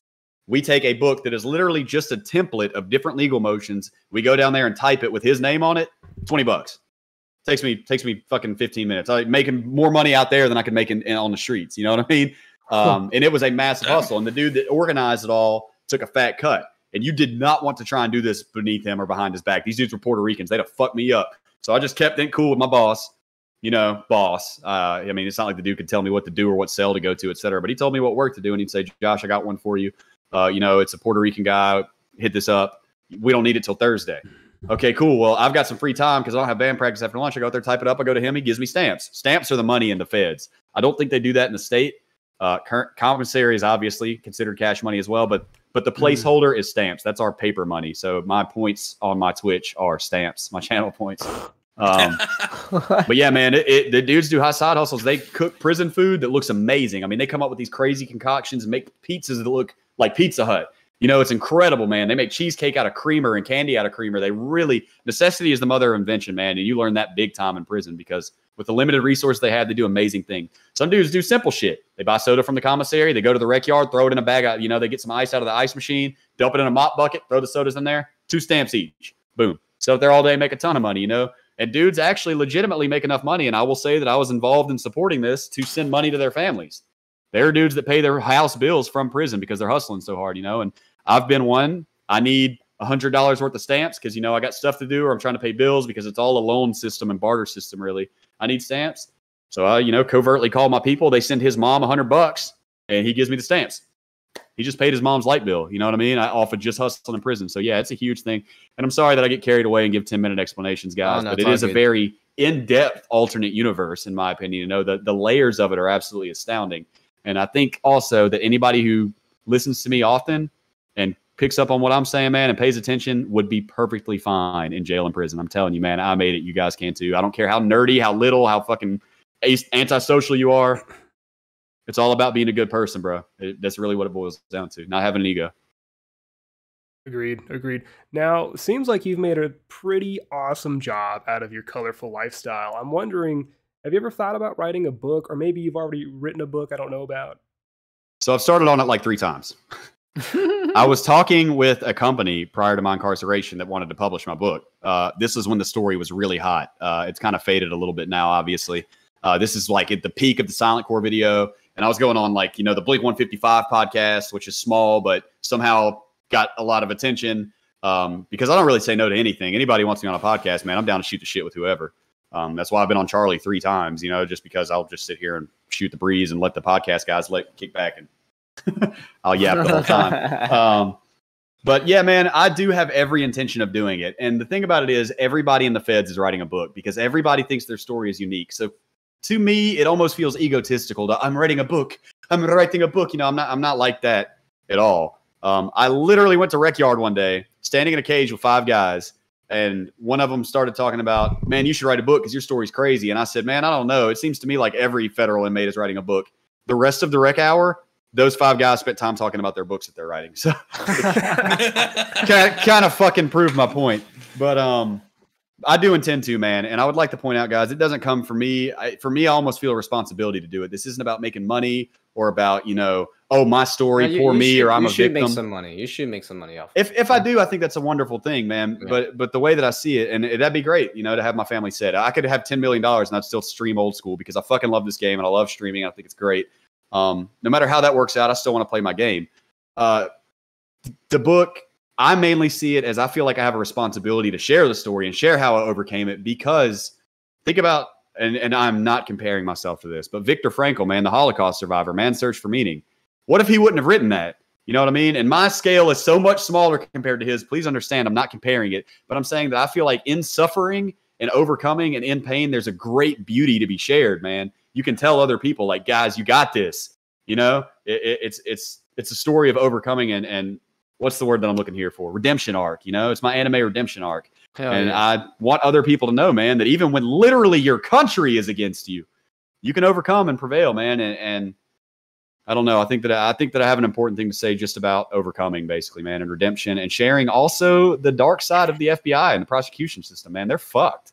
They're fucked up, and I never knew it. I always assumed before my incarceration, and a lot of people still think this. I was like, bad guys go to prison.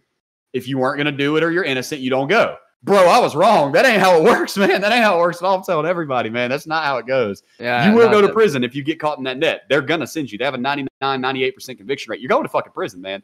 And it's a problem. And I'd like to expose it, uh, mainly to keep this from happening to other people.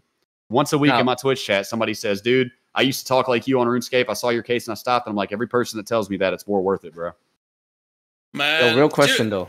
Yeah. You go for it, Ray. You go All for right, it. so so this this is interesting, right? Because prison for a lot of people, right, that don't haven't looked into it much, it's like, oh yeah, you only bad person go there, right? But Mhm. but it's not the case, especially in the U.S., right? Because the U.S. there's this complex where there's you know financial incentives, right, to get people in there. So it's it's incredibly biased. But what about other countries? Have you looked at other countries, like for example, European countries, like their prisons, right? Yes. like like have you looked into it and like have you ever like compared your experience and like you know how you got punished how long you, you had to stay versus like the people that would get that would go to prison there you know Absolutely. like a swedish country or something you know Specifically, Sweden, as a matter of fact, is a good place. yeah exactly like what's your take on that you know the uh, comparisons like what's more fair or, it's or- crazy. it's crazy how these other countries have, man. Like the guy, I don't remember his name, man. The dude that, that went on a shooting spree and, and like murdered a bunch of Muslims, man. You know that guy, Anders? I don't even need to shout out his Dude, name. man. Whatever lot, the fuck. lot He dude, went on a hunger strike in prison for more video games. Bro, he can ooh, I'm not even gonna say it on YouTube, man. That that dude, oh my god. I was sitting in a concrete room with books. You know what I mean? Every, eh, for you're locked in your cell eight hours a day. You're only out for 16. And when I'm out, I'm playing a $50 beat up acoustic guitar. This dude's going on hunger strike for more video games after he murdered a bunch of innocent people. Oh man. And also, you know, Sweden has a maximum sentence. Uh, I don't know if you guys are aware of that. I don't know why anybody would be aware of that if you're not involved in this or from there. But Sweden and I think maybe the other Scandinavian countries, the most time you can get in prison is 21 years. You cannot, under any circumstances, get more. It's called like the ultimate sentence or something like that. And surprisingly, it has an extremely effective recidivism rate. People who receive that sentence and serve 21 years get out and they statistically don't commit crimes anymore. It's amazing because in our we have a 92% recidivism rate. I'm in that rate. 92% of males, specifically males, I'm not sure about females, 92% of men in prison in America either have been before, will be back, or have been twice. And I'm in that statistic because the, the net for your probation and shit like that, it's it's a trap, man. Uh, I mean, they are going hard on you. They're investigating your life. They can come tear up your computers. I, it smells like weed in here. You know, they're shaking your house down. Like they, they go hard. The PO that I just had, I finished my probation about a month ago, by the way, guys. Woo, free man. Um, well done, Oh, dude. yeah. Thanks, man. I didn't even get a warning this time. So I would like to I would like to also give credit to my PO because I had a really cool PO. I wasn't doing anything wrong. He sensed it. He knew my character. The other guys, they looked me in the eyes and they knew I was doing wrong, man. You know, I had nothing to hide this time. I was like, bro, you, can you can I'll piss in whatever cup you want. You can look wherever you want. I'll go to my mandatory therapy. You got no problems out of me. And it went really smoothly for the, me this time because I used it as an asset instead of a guillotine hanging over my head. Um, and that really changed my view on it. Um, dude, other countries got it made. But I will say it is impossible for one man to judge another man's suffering. Somebody might be over there playing their Xbox in prison and, you know, having their weekend free world visits that they get and miserable as shit, way more miserable than I was. It's all relative, you know what I mean? So maybe they Yeah. think that that's a hard time. I'm not trying to diss on them or say they got it, you know, oh, you guys are pussies or whatever. It's not like that. Yeah, just look at the stats, you know? Just Yeah, it's just it's strange, and it, and it's strange also how successful other countries. I mean, the UK doesn't have it nearly as high as, as a, of a recidivism rate. Like, if you look at the Nope. statistics, America has to be statistically the most evil country in the world if you go by incarceration. I think it's Something's like, wrong. um, I mean, out, out in America, it's a massive business. Like they make a lot of money through locking people up, and um, like I, I will add this right. So ever since I was detained when I was in America, I started watching loads of videos on like, you know, people being pulled over by the police and so forth, Mhm. and there is it. The difference between the police here in the UK that I've personally dealt with and then the police in America, like all, all I can really put it down to is their training is so unprofessional, it seems, because the encounters that American police, and I've got nothing against police, by the way, because I've never really had a bad encounter. Even the time I was detained, aside from having guns pulled on me, where I was I was shitting my pants. Yeah, was that ain't a good feeling, bro. I feel you. It, no, it's fucking terrifying because I was It like, if I make one wrong step, You don't know I what to do. Statistic, yeah. So, Uh-huh. but like the professionalism, like, dude, yeah. mate, mate, mate. I I watch videos of like American cops pulling people over, and sometimes it's almost like they're trying to, they're trying to stir the pot. Like they're trying to get a reaction from the person, and it's crazy. Like 'Cause because trigger here in, the, here in the UK, it's like they try to like detonate the situation. Like they try and diffuse it. Sorry, they try to diffuse the situation. They try to like you know bring it back down, level headed. Whereas in America, like I'll, I'll watch videos on it and stuff, and like I ain't got a problem with police, but when I watch like a police officer emotionally trying to get inside somebody's head, I'm just like, Yep. I'm not fucking surprised people start doing crazy shit because if you have some fucking parrot that's like saying yapping in your ear, like, why are you being like that? Like, you know, why are you talking? Like, it's like Your eyes look kind of red. You don't even know so- me, bro. Maybe I got red eyes. It's like you're so you're supposed to diffuse the situation. That's how I see it. I'm like, police should be there to try and diffuse the situation, get everybody back to a safe and happy place instead of trying to boil that pot over. Um, Absolutely. but you know, speaking of countries that have like basically no crime and stuff like that, uh, I'm sure there's people watching this podcast that know better than I I do.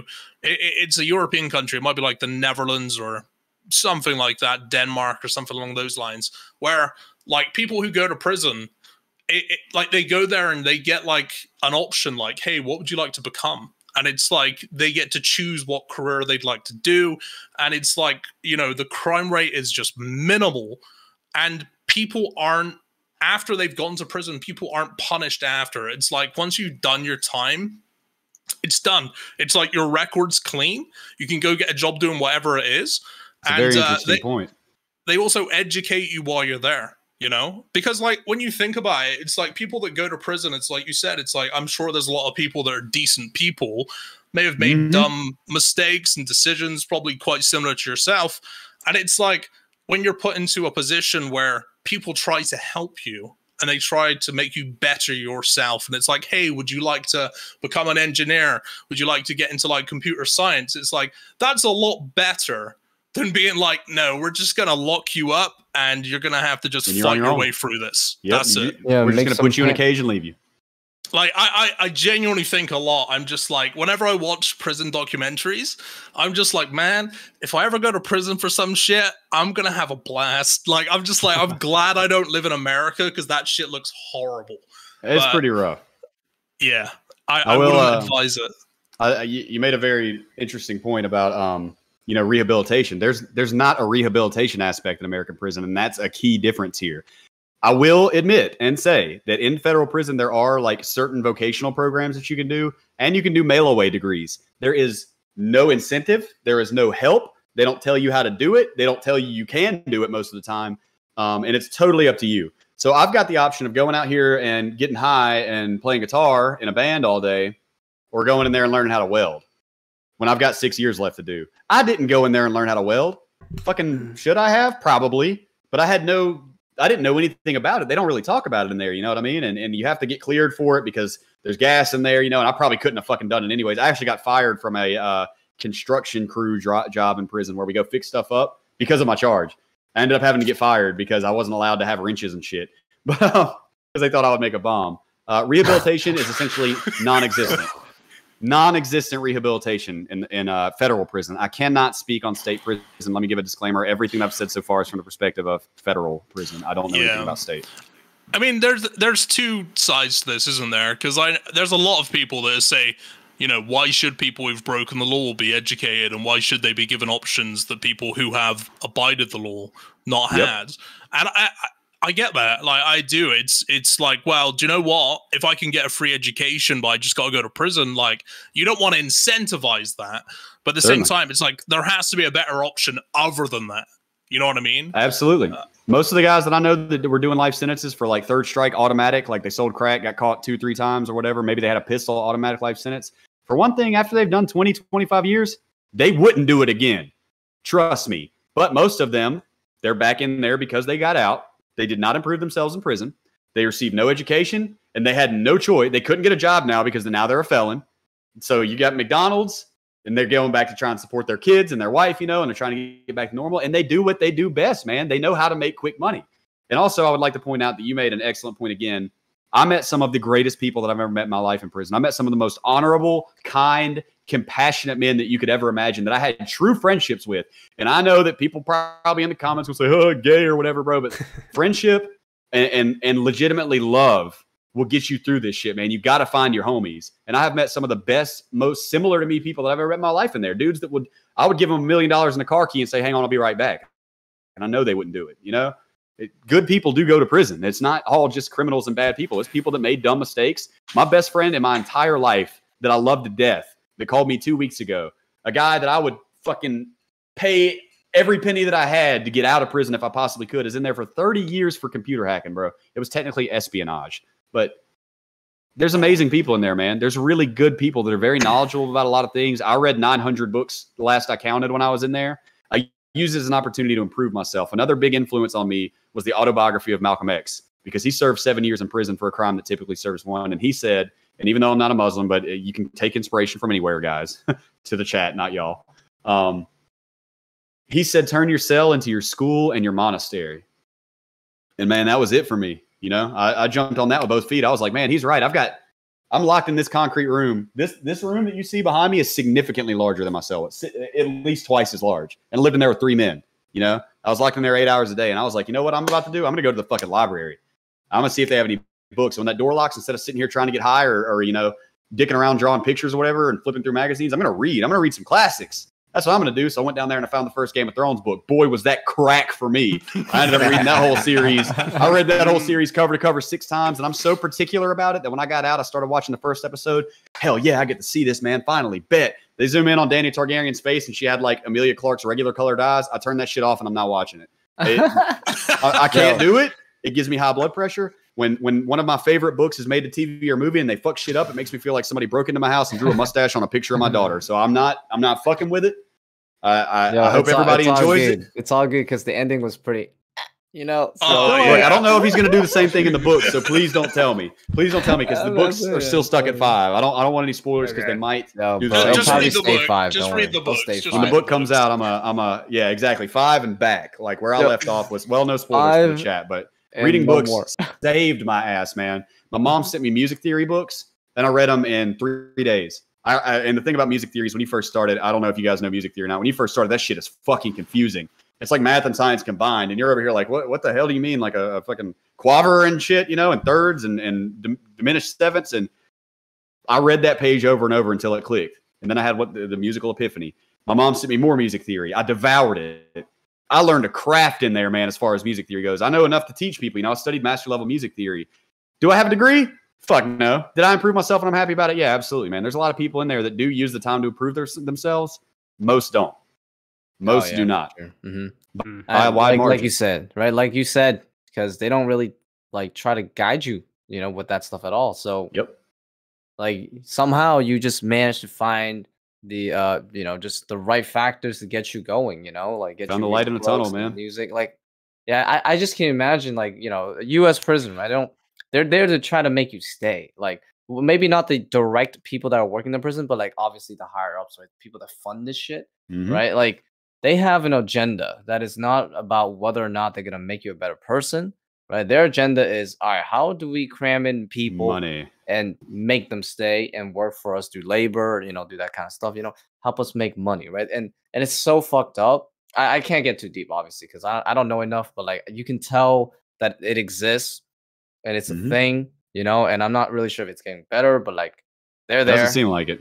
you know, they're there and and their goal is not necessarily help you become a better person, right? Like Not at all. They make money Yeah. from pri- prison privatization in America, man. You said it. Yeah. You said it right at the beginning. I was kind of surprised. You guys definitely know more about this than you think you do, I believe. But uh, Mm. yeah, prison privatization, man. People own prisons. There have been multiple cases where they busted judges who were sentencing people hard because the prison was paying them behind the back. You know what I mean? Hey, look, man, I'm gonna give you a hundred thousand dollars, no probation, none. And the judge is like, okay, they notice a trend. Hold on, his sentence has just increased by like 88 percent on average.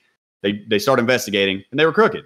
You know, the No, prison's yeah. still running. They didn't get in any fucking trouble. I think the judge lost a seat, but they didn't go to prison like I would have, you know, for this corruption.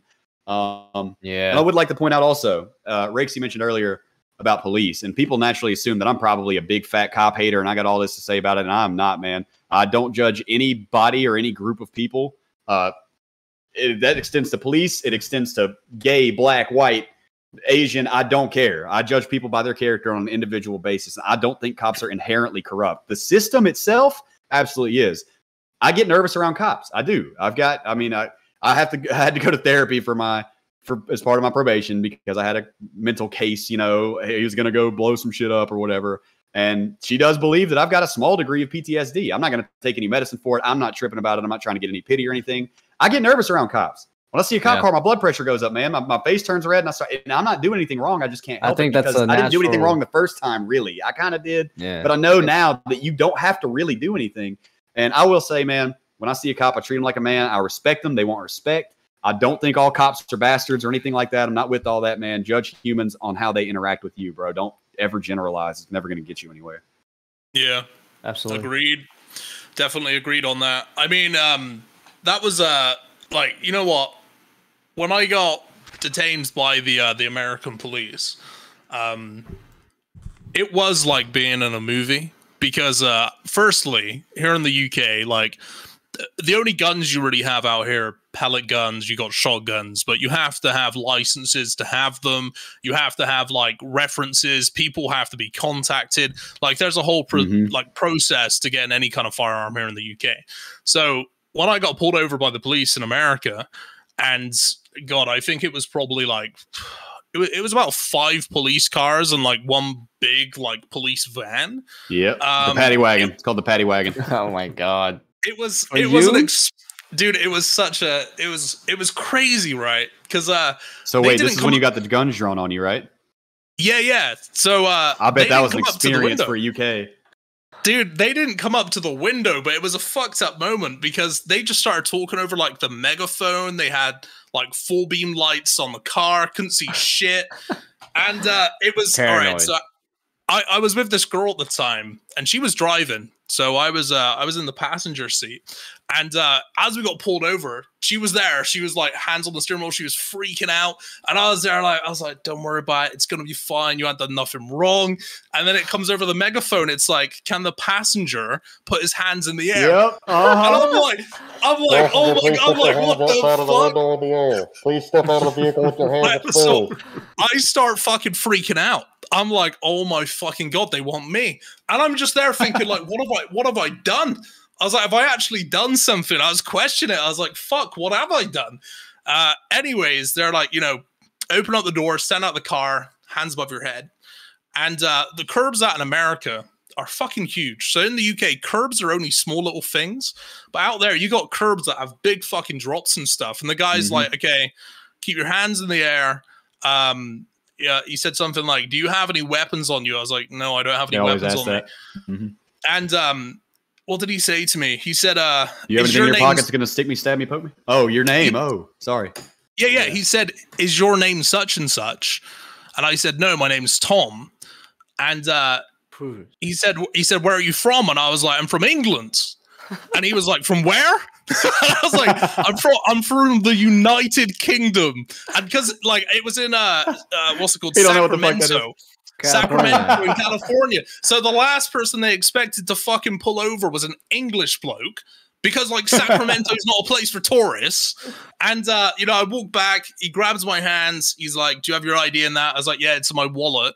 And then they sat me in the back of the van, and I was there for God, I was in the back of that van for about 15 minutes. And those vans are uncomfortable as fuck, man. I gotta Mhm. say, dude, because they rip all the seats out and shit. You're just sat on like the plastic, no seatbelts, Yep. no nothing. And uh, I was just up. sat there. I, was- I was sat there. What the fuck? I was, dude. I can't remember if they cuffed me. I no, they, they, pro- did. they cuff- probably They did, huh? did. Yeah, they did cuff me because they he took my hands, put them behind my Put back, behind your back. hmm and I must have been sat there with them on. I, I can't. It was so. It was like five years ago now. Yeah, you were legally sat there. detained at that point. Is what, like, legally speaking, you were detained. They were going to cuff you up, make sure you didn't go nowhere. Yeah. Um, but I was sat there for like 15 minutes, and uh, I was just sat there. I was just thinking in my head, I was like, "Yeah, I'm going to prison tonight. I'm going to jail." I was, I was convinced, and I was just thinking, like, "Fuck, man, why me? Why, why is this shit happening? I'm not from this country. I'm instantly gonna be standing out amongst every fucking person there." Like, and I was just like, Yep. "Fuck." I was like, "I'm in some shit right now." And then the guy came over to the door, opened it up. He's like, "Yeah, we sort it out. You're not the person we're looking for." And uh, I got out and I just chatted with them for like five, ten minutes. And they were really cool guys. But like, They got to do a You know- job, though. Yeah. no, exactly. It was, I was just like, you know, it's fair enough. They thought I was somebody that I wasn't. It was just a whole misunderstanding. But like, when they told me to walk back, part of the walking back in a straight line was me walking off the curb onto like the road towards them. He was definitely And drunk. I just remember my heart was just fucking jumping out my chest because I was like, dude, if I if I fall fucking back or if I do some stupid shit or I can't hear them, I was like, Yeah. I could lit I, everything could just be black in a few moments time, and that could be it forever. That's the, That that's, was- isn't that the that scariest shit, on in my bro? head. That's the worst Yeah. part is that when they have those guns on you, you're like, literally, like, I can die right fucking now, and I don't know how to stop it or, or change it. like, can you can you imagine that? It's like I wasn't even the guy they were after. It was it was Mistaken terrifying. identity. Yeah, but um, like the funny thing is, like you know, all the encounters I've ever had with police, honestly, like they've all been really pleasant. Like here in the UK and stuff, it's like they are literally just there to sort stuff out. It's like if you walk by a police officer down the road, like they'll say good morning to you. It's like good morning, how are you? That's it. You just go on with your day. It's not like what are you up to, boy? What's in your Like, pockets? what- what's in your pockets? You know, it, it's nothing like that. They're just they're trying to keep the peace. Like that's the point in it. You know. Absolutely. And I personally believe that at heart, most police officers that I personally have met do believe in their job serving the greater good. And I will say that absolutely. and I do believe that at the core they're good people. I know that sometimes things go over their head, like the, the their power. You know, their boss is like, no, you're getting that. I'm aware of that. There's corruption that is rife, but uh, on average, man, I don't believe that police or men are inherently corrupt. Uh, once it goes above their head, it starts getting pretty fucking shady. But um, man, I'm not I'm not anti-cop at all. Most of the cops that I met here are the same way, Raikesy. Man, you can walk past and say good morning. They're just like, hey man, how's it going? You know, and and they're there just trying to keep an eye out. Like I've being raised in a small town in the South, uh, I went to New York City a few months before I got arrested, which was my first major city other than Memphis. Um, and there were cops everywhere. I mean, holy shit, cops everywhere. They, everywhere there are people, there's like 30 cops. Like for there's a cop for every three people, you know. And I was really surprised. I was like, this is weird. And they were all so kicked back. I saw a dude rolling a joint in uh, Union Square Park or whatever it's called. I barely even remember now, man. But he was rolling a joint, and the cop Eating walked up to him. Yeah. The, the cop just walks up to him and he's like, What are you doing? I was standing 10 feet away from him. He goes, Oh, shit, bro. Hey, I was just rolling a joint. He goes, You got a backpack? And he goes, No. He said, Are you selling it? And he said, No. And he said, Fuck, all right, man. And he turned and walked off. just let him go about his business. He wasn't tripping about the Yeah. dude smoking a joint. He was just like, You don't got a pound in your bag, do you? Like, is this something that I really need to? And he's like, You got a backpack anywhere? And he said, No, sir. He said, Are you selling this right now? Or are you just about to smoke it? He said, Man, I'm just going to smoke. And he was like, Man, fucking, all right, cool. He's got better shit to worry about, you know? Yeah. Got pulled over in Memphis when I was uh, 18, actually, with a a very a felony amount of marijuana, like not a misdemeanor, like a felony. Uh, and we got pulled over, and the cop found it. Our car smelled like a skunk's ass. Uh, he rolled the window down, and the cop probably got the munchies. Uh, he was like, "All right, all right." He, I mean, it, as soon as we rolled the window down, he was like, "Do you know why?" I... Yeah, get out of the car.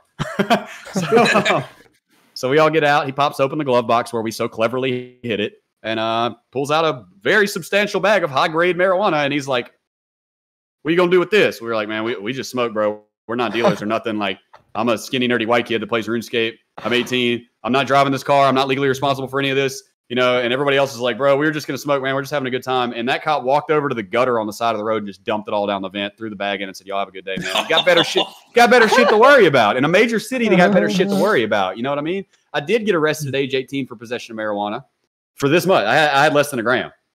It was like it was like eight tenths of a gram of some shitty brown crap weed, and I got arrested and like fully straight up probation. Like they went hard on me as fuck. You know, in Memphis where shit's going down, he's not worried about some 18 year old smoking weed, man. So I guess it kind of depends on you know the location, the region, the history, the factors. You know, maybe Like the cops in the riding yeah. places are a little more on edge and maybe they're not trying to Mhm. be friendly with people, you know. But in small town Mississippi, they're not making quota if there is a quota, which I hope there isn't.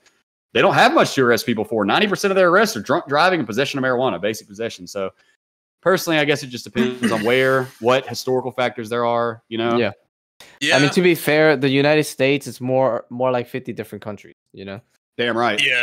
I mean, it goes both ways as well because I, I've seen loads of videos like of these people where like they stand up to the cops when they get pulled over and stuff. I don't know if you guys have seen that. Yeah, I've seen that. But it, it goes both ways because it's like in some of these videos, like people are just giving them a hard time. And, like, Absolutely. you know, Mhm. it, it's like there are times when it's like, yeah, you definitely should give them a hard time if they're taking the piss with it. But like Yeah. at the same time, it's like if you go out of your way to make their job very difficult when they've been nothing but kind and polite to you and they're simply doing a job, it's like don't make it hard for them because it makes it hard for Mhm. you.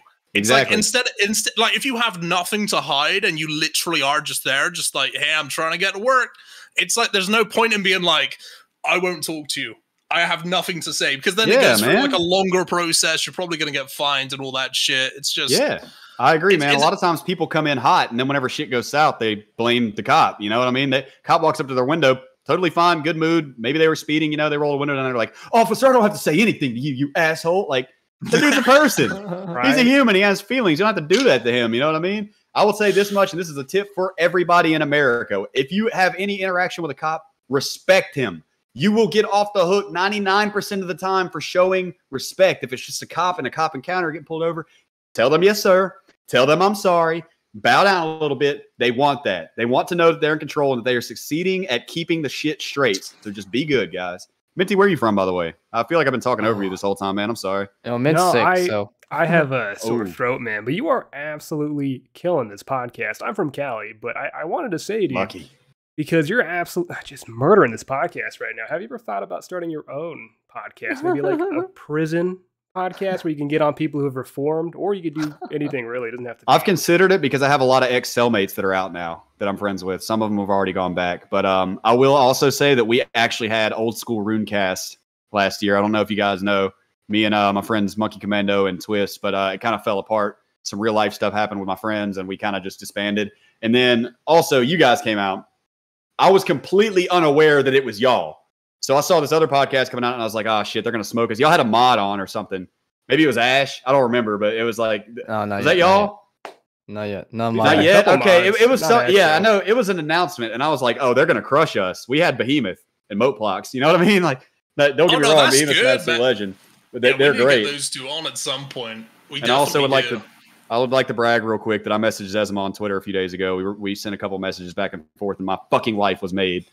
Fucking Grandmaster Combat Achievement unlocked. Message Zezima on Twitter because he followed me, and I just couldn't help it. I had to fucking. I was like, yo, just real quick, bro, you're my fucking hero. When I was in fifth grade, I told my whole lunch table that I killed you in the wilderness, and they all thought I was the coolest kid in school for like two weeks. Like, you're the fucking legend, and I love you. And he wrote me back. So maybe I can give you guys some plugs. Y'all are way more important than me. You probably all already talked to Zezima, but it just happened to me, and I'm very happy about it. Um, no, I don't really have any intention at this point of starting my own podcast, man. It's a possibility in the future. My following, I feel like, I mean, I don't know. If it's possible. I'm friends with big prison channels. Lockdown 23 and 1. I went on his. I don't know if you know, guys know about him. And then, like I said, I'm going to absolutely show 100% humility here. My career and what I do now is not because of me. It's because of the people that lifted me up and made videos about me. Crumb, Moteplox, Lockdown 23 and 1, Silent Core, of course. Big Silent Core started it all. Uh, I went on Count Dankula. Please keep in mind, everybody, that when I go on a podcast, it doesn't mean that I agree or disagree with their political beliefs. It just means that I like to shoot the shit with people, and the dude's got a good sense of humor because people are like, yo, you're a Nazi. You were talking to Count Dankula. And it's not like that at all. And neither is he.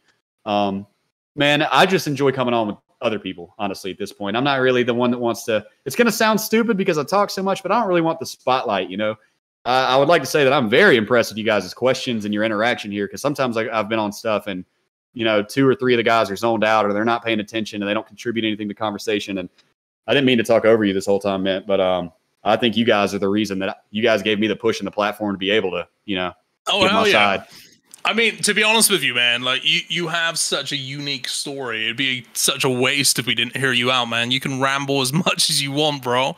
Like it's interesting as well it. because like a lot of the the conversations not even being RuneScape related, which is we don't do that that often. So I mean, the Maybe- fact that we've all been turn it back. engaged. Yes, I no, get. I think this is important. You know. This is Yes, I do get important. pillory guard random events. They did not remove pillory guard random events, and I still get triggered when I see it. You're under arrest, dead felon. Fuck.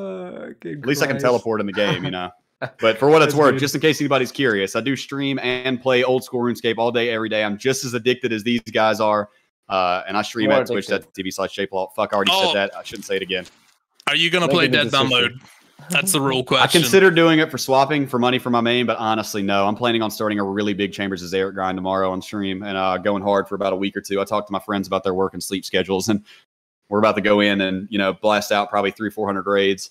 Um, no, I'm not going to do dead man mode. I'm glad that they changed some of the rules in a way that seems like it benefits PKers. I'm glad that they hear the community out because whether people like it or not, the fact is that our community fucking loves us and they listen to what we say and they hear us out and they really, really try their best to warp things into our favor as we want it.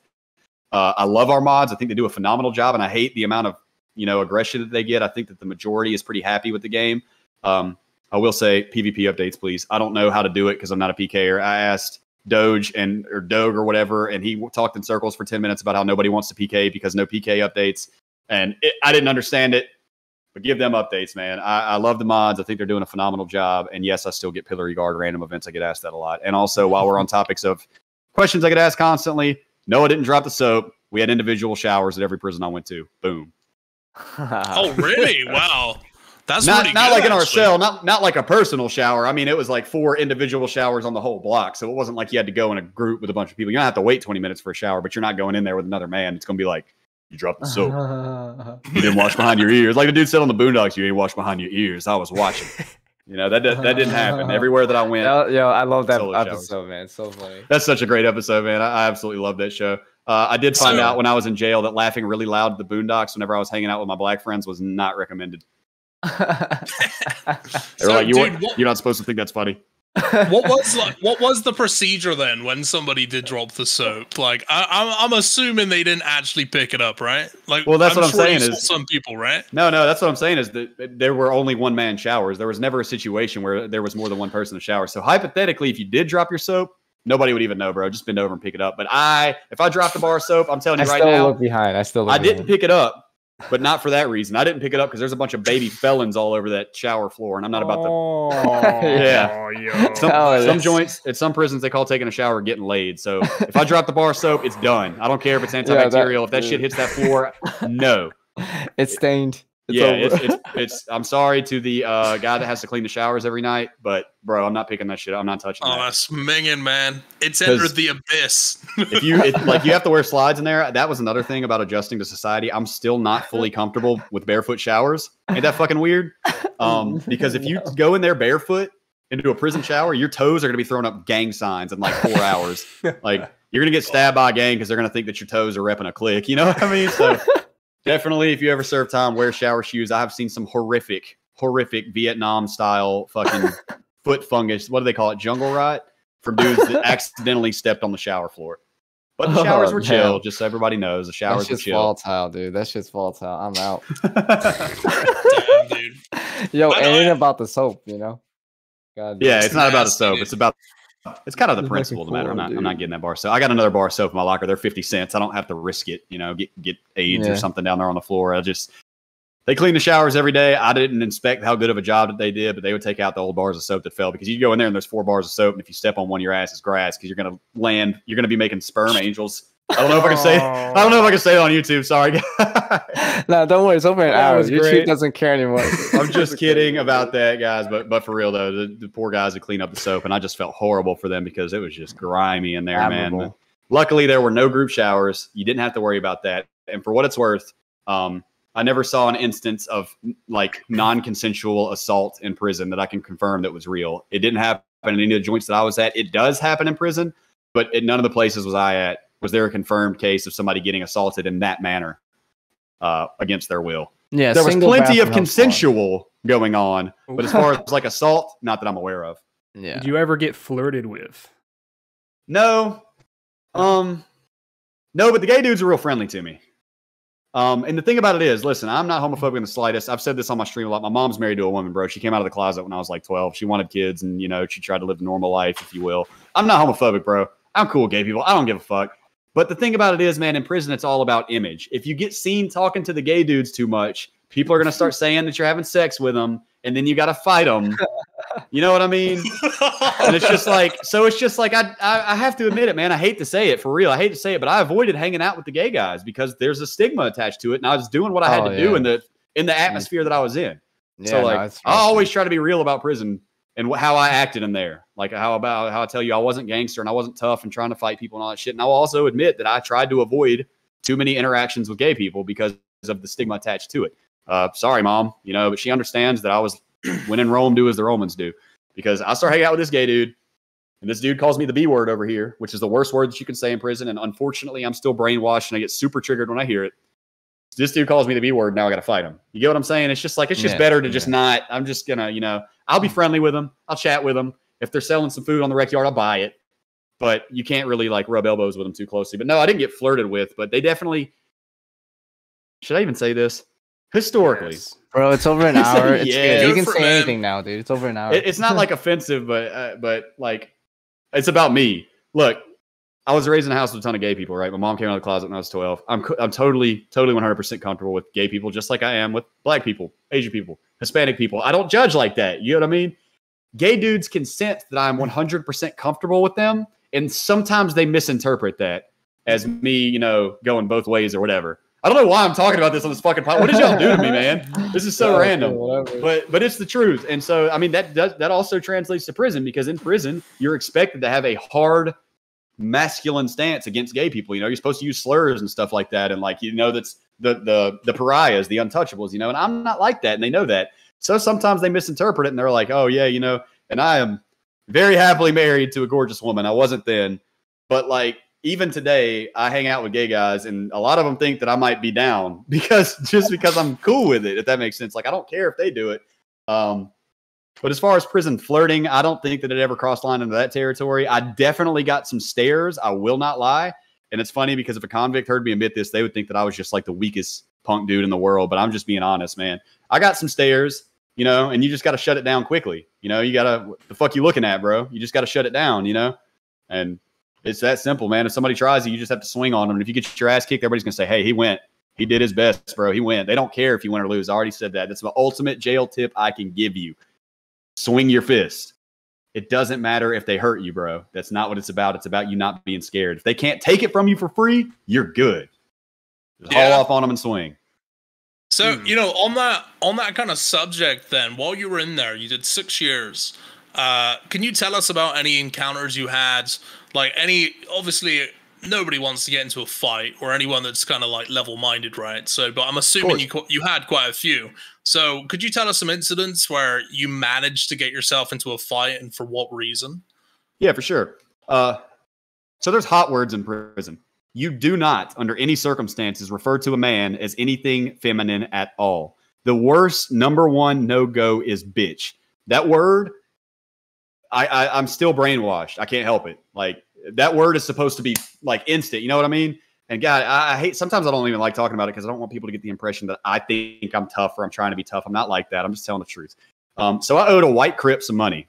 I have a YouTube video about this because this is like my favorite one, I guess. Um, I owed a, he's a white guy and he was a crip. He was affiliated with a gang, you know, which is typically associated with being a black gang, but he was certified, verified, and accredited. You know what I mean? He was a member of the gang. Um, I got along with him like shit. We didn't really like each other, but I ended up, I don't remember, maybe he had, I don't think it was drugs, but for some reason I owed him $10. And I was about to go to visitation. My best friend came to visit me at prison this day. And so I'm crisp. I got my I got my fucking khakis on, you know, ironed up, you know, I'm good to go because you you, you want to look good when you go to visitation as best as you can in the prison khakis. Um, but I, it was visitation. I went down there to ask his cellmate something, and he said something smart to me about his money. And I was like, bro, I told you I got you on Thursday. It's Tuesday. You can't cry on Tuesday, and you're not supposed to say men cry either. Oh, Uh, You don't you don't you don't say feminine. You don't say you don't call them a bitch, pussy, hoe, slut, skank. You know none of that. Anything that could be associated with being feminine, and you damn sure don't accuse them of crying. So I said, you you can't cry to me on Tuesday when I owe you on Thursday, bro. You can cry on Thursday if I don't have your money, but I'm gonna have your money on Thursday. Like, how are you already harassing me about this? And he said, I'm just saying, bro, it's, it's in your best interest. And you have to, I have, please understand, I'm not an egotistical guy. You have to do certain things. He said, it's in your best interest if you get me my money on time. And I said, I said something to the effect of like, I'm gonna have your money, but not because I'm scared of you. You know what I mean? Like, I'm gonna have your money because I'm a good businessman because I want to keep my business honest. You can't talk shit before the, the rent is due. You know, that was my position. And he said, I'm just saying it's best for you. And he went to turn around and leave the cell and he looked back and he said, You're a pussy dog. And so, voila. So, uh, needless to say, I immediately swung on him. I hit him in the ear. He had Carip tattooed in his ear, gang stuff, you know. Got a cauliflower ear now. It says Cape because it said C A R I P. I split his ear open with a very lucky punch. Not bad. It wasn't a severe split. He's got a little cauliflower ear right there. So he turned around, elbowed me in the jaw. Good. I mean, instantly. I have to. I, I severely underestimated this guy because he was a little out of shape.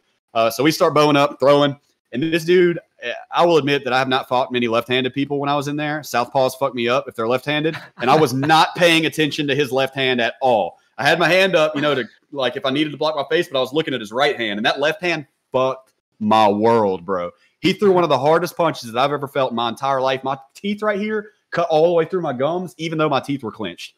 Like my teeth, my, my I almost had a hole right here. I still got a mad wad of scar tissue right here. I'm talking about he split my shit, boy. I was seeing stars. He hit me so hard. And uh, so Oh, needless to say, I became instantly disoriented. You know, I got shadow barrage the fuck out. I'm confused. What do you do when you start losing a fight or you, or you confused? I grappled him. so, I- so I grabbed him and we took a step back and we fell on the edge of the bunk because you can't fight in a fucking cell the size of a closet. You know, everybody ends up falling to the ground. I fractured my elbow, which I, I fractured many times fighting in prison. I can't get a good angle. Look at that hook.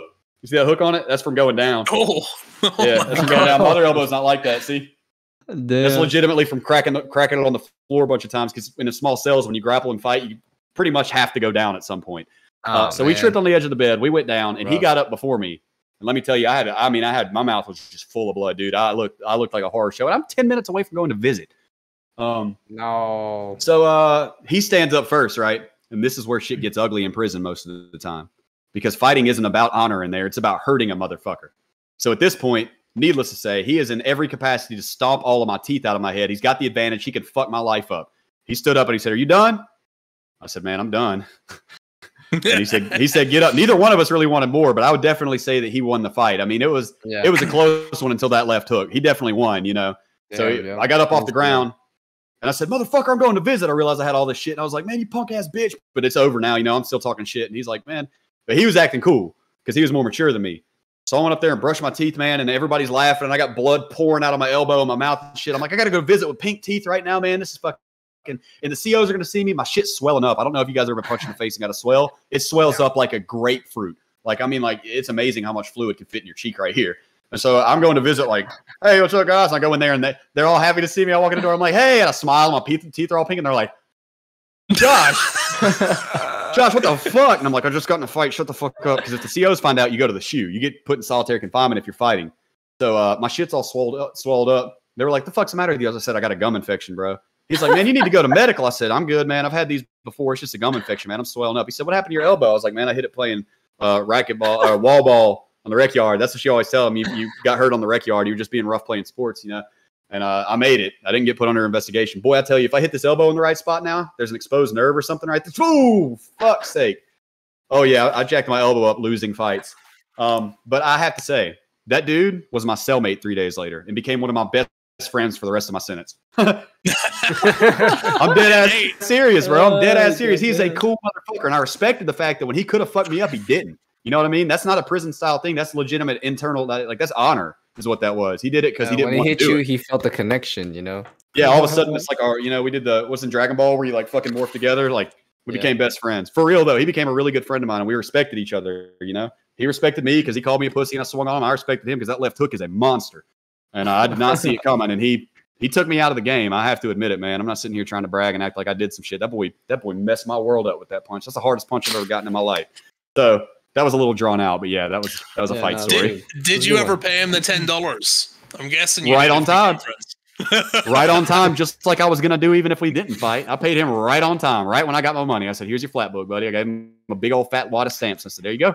It was never an issue. I was never Yo. gonna be late on it. You know what I mean? Like this, or I was out of nothing. But for some reason, after we duked it out, we didn't have that tension anymore. And I believe that this can be achieved without having to get physical. You can do this just through verbal. You know, sometimes you got to kind of rage each other out and act like an asshole and figure each other out a little bit, and then you're over it. You know what I mean? It's like verbal hugging it out or fight hugging it out.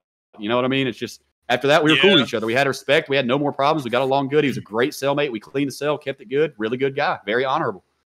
Yo, what's what's what's the deal with the stamps, right? So like you have this uh like you know this this whole almost like an MMO currency thing going on in, Mhm. in the prison, right? Yep. So like where does it come from? Obviously probably from like the people that work in the prison, right? Like but like the the circulation seems almost black market, right? But Basically, then but then it- but then you also somehow can you you know use the money to to make certain things buy certain things and then like it helps the the actual people in the in the prison yeah, there's an actual economy. There's a prison economy straight up. yeah yeah and Mhm. like so so like you know like what what's the what's the system like like how much is being like supplied uh you know fresh from like Mhm. the, the people that work in the prison versus the, the jailmates right like because like i'm assuming you, you could have stamps from 10 years ago right Still Yes, there are many of them. other dude Yeah. Right. There's So I'm assuming they- they could be circulating. too, right they, they could be inflation in this in this kind of shit. Inflation. Yeah, no doubt. How you change- no, no, no, no, no, no, no. No, Brilliant no? question. Yeah. Brilliant question because he's right.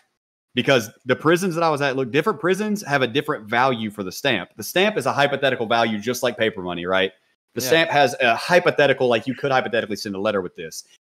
At one point, stamps were 50 cents on the commissary, but they're 33 cents from person to person. If I got a dollar and give this dude a dollar, a honey bun that's a dollar, he's going to give me three stamps. You know what I mean? So there's no stamps coming in at all because why the fuck would you buy them from the commissary? So you got these taped up 32 cent 1986 stamps that have been fucking going around this probably worth $100,000 going around going around the prison, you know, as just basically a currency placeholder. And there was a severe problem with the fact that the stamps were 33 cents because there was a woodworking shop there.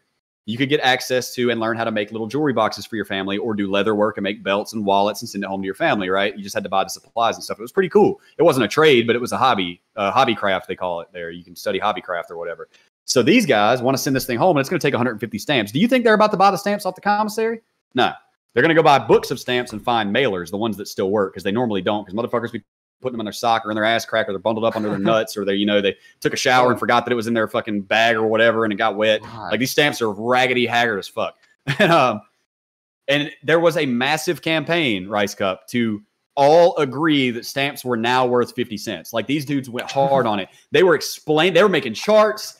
They were explaining like the white collar criminals got down on this, dude, like the tax oh, evaders and shit like that. Like the accountants and all that, you know, like they were in there like, this is my shit. Let me get in there. And they fucking pulling out paper and they're drawing these plans and like showed how it would be so much better for the prison economy. They literally said if we The accepted that stamps would be 50 cents each. And so all of a sudden, all the store men were like, you come at them with four stamps for whatever, and they give you one back. You know, they're like, nah. And it didn't work. It ended up flopping and failing, and they just like went back to the 33 cent. They couldn't get everybody to agree on it, even though the math worked out. Convicts typically aren't that good at math unless it comes to like dope dealing for some reason. Uh, they're great at that. They're very charismatic and great with that, you know. But um, no, you're you're absolutely right, dude. There was an economy and there was an economic fucking crisis where there were no stamps coming in, and these dudes would send out 150 stamps to mail this thing home, and that's stamps that are gone from the compound forever. There's a stamp shortage now. You know what I mean? So it was a really good question, in my opinion, man. Yeah, that happens. And then you got guys that when you get a letter, um, they put deodorant on the stamp on their letter because you know they stamp it at the post office. Put deodorant on it, roll on deodorant, rub it with a napkin, put a little bit of uh, Vaseline on it, rub it a little bit, and that shit'll come off. And then they fake it, which is hypothetically not supposed to happen. They'll peel it off, stick it to a piece of wax paper, and ta-da! Look, I have a functioning stamp now. So very few coming in because most of the time, if you tried to remove it from a letter and pass it off as a fake, it wouldn't work. Um, if you handed a guy some stamps to pay for something and one of them was marked by the post office, he'd give it back. That counted. That was void currency because it voids the hypothetical value of being able to send a letter with it. You get what I'm saying? So yeah, man, it was an economic crisis. You're absolutely right. Just like an MMO. You know, there's nothing coming in, and all these it's the stamps going out, and the money's disappearing. And so now we're having to use mackerel packs because they're exactly a dollar, or honey buns because they're exactly a dollar. And now when you want to pay your bills, you come back from commissary with three bags slam full of shit, and everybody on the compound staring at you like, I'm about to go get me some of that. Yo, what's the most stamps you've had at one time in your life? All right. At one point, I had about 450 $500 worth of stamps. Damn, I, bro, what was the plan? You know, what was like the master plan? I mean, guys, I've been pretty open and honest this whole time, so I'm not going to stop now, bro. Uh, mostly for bills for drugs, straight up. I'm being honest with you, were man. these Uh, the a early years? the first time. Were they yeah. the early years? Yeah. hmm And, The second time that I went back, I got involved in some nonsense again, and uh, it wasn't drugs. It pertained to a cell phone, and some trouble happened, and nasty shit went down, and I ended up having about five hundred dollars worth of stamps that time as well, uh, in a tube sock, and passed it straight off to a dude covert. No idea what he did with it, because if you get caught with that many stamps, you're going to the shoe, and they're taking them all away and throwing them in the trash. Well, Oof. Wow. they don't throw them away, and they, they say they throw them in the trash, but they typically go to snitches. To be honest with you, but Ah, okay. Yeah, of course. They gotta. Yeah, you know, they, they grease up the you snitches know. is what they do. Yeah. They'll uh, act like they're doing a shakedown in a, in a snitch's cell and leave like hundred dollars worth of stamps in there if they give them good information. And all of a sudden this dude's running around balling. Um, but yeah, there were times where I had that's a significant amount by prison standards. That's a very significant amount of stamps and money to have, Yeah. and it was very difficult to obtain that many. Uh, the, when you get that many stamps, the guy that you're getting it from, you would never expect. You know what I'm saying? He- he's gangster. He's doing it right. Like they're like, look, I got to do this and this and this. sly. And when they find out you're serious about your money, you know, they find out like, like, no, for real, I'm trying to drop 500 and I need the stamps. Who do I send it to? You know, I got street contacts. I can do this. It's a very covert thing because it's all against the law and the rules. And um, they'll be like, all right, listen, listen, listen, listen. They go talk to the guy that just sits there and watches TV all day and doesn't talk to anybody. You know, and that's the dude that little do we know everybody's working for him, and he's got his whole mattress is full of stamps, and like he's he's a fucking sending twenty grand home a month and shit, like big ball and crazy dog, you know. And you'd never expect this, so it was very difficult for me to obtain that many stamps. But at the end of the day, I handled my business, I paid my bills, I got out of the situation that I was in because I got in over my head and drug debt, and uh, my family fucking helped me out for no reason. Uh, I guess just because they love me and they believed that one day I would be here, and now I am. So, thank you, family. Thank you, everybody who supported me. Oh yeah. So when it when it comes to currencies in prison, like uh, we were talking earlier about these um, immigrants who are working in prison because they could make good money, um, and they actually get paid real USD. So Mm-hmm. how does that process work? Like I'm assuming they don't just get given that money in prison; it goes into like an account or something. Mhm. Yep. So you have a your books is what they're called. They are no longer tangible books, needless to say, but the phrase is a throwback. Uh, you have computers in the feds, and you can access them with your PIN number and your uh, passcode, which mine was one six three five two four nine. Ooh, I still fingers went right to it. Um, and you can check how much money you have. If you have an official prison job, yes, your money goes straight to that as an electronic money on a screen, no tangible anything. They have a form called a BP something or other where you can print off a check from your account, go to the library, you get your counselor to sign off on it, and you mail it away. Um, alternatively, they took this away now because I don't know why they thought this was a good idea. Feds had MoneyGram for three years, where you could take the money on your account and you could send $100 a day to any email that accepted your fucking email address. Like you had to do the convict email because we did have an email system in there, very, very limited.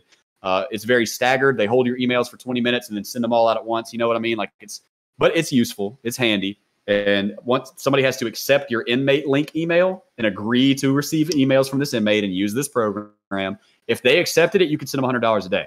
So, needless to say, lots more people are in prison now than were before because instead of having to call my people on the streets and be all sneaky about this shit, I go to this guy and I'm like, yo, what's your uh, what's your girl's email? You know, and he's like, I got you. Come on. You know, and we talk it out. She accepts my email. I send her hundred dollars. The next day I send her. I specifically remember one time uh, when you buy in bulk, you get bonus. Obviously, right? I mean, we know how this shit works.